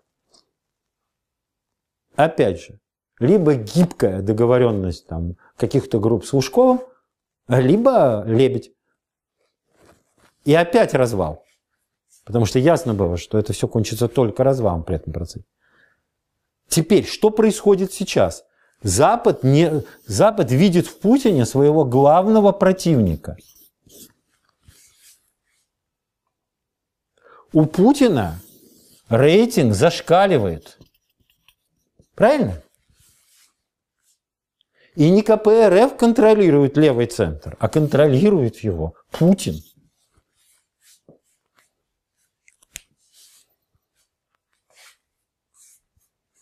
И тогда я спрашиваю, а чем сейчас в этой ситуации занимаются белые?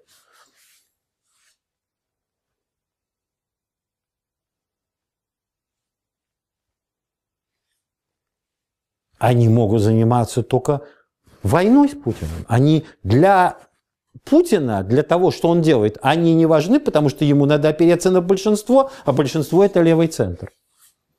Можно кооптировать в него каких-то умеренных националистов и тех белых, которые не являются власовцами, прямую не подчинены Западу. Если речь идет действительно о войне с Западом, а не каком повороте. А вот для того, чтобы свергать, они нужны. Это и есть Майдан. В центре находится Янукович, здесь находится Грушевского и правый сектор и все прочее, а здесь находится либерал. Сахарова и Болотная. Вот эта композиция понятна. И никто не будет изобретать новых композиций, если это привычное работает.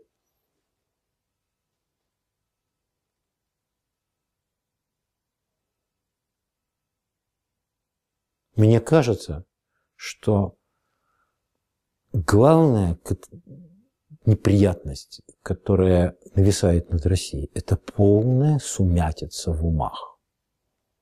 Это колоссальное упрощенчество. Это какая-то самовлюбленная игра стихия. Все играют, все думают о себе, никто не чувствует, как, что стягивается и какова мера ответственности за это.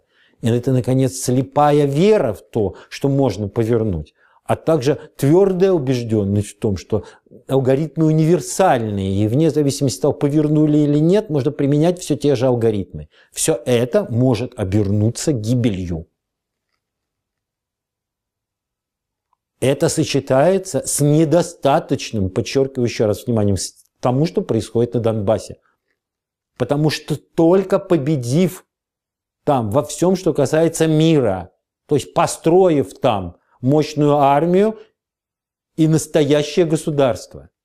Мы получаем в руки инструменты, позволяющие выиграть, по-настоящему выиграть. Все остальное настоящего выигрыша не даст.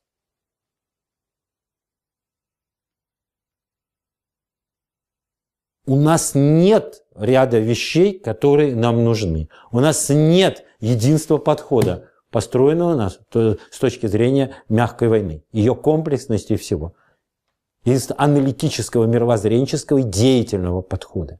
У нас нет понимания окончательности произошедшего. У нас нет понимания того, что война – это не игрушки реконструкторские.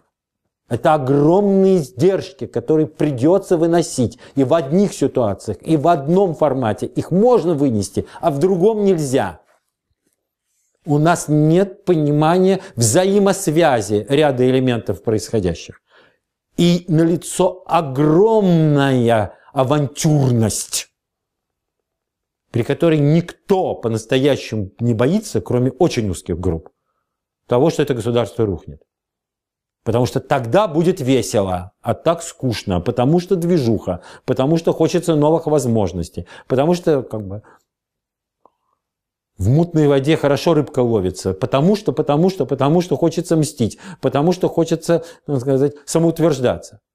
А государство, имеющееся, это величайшая ценность.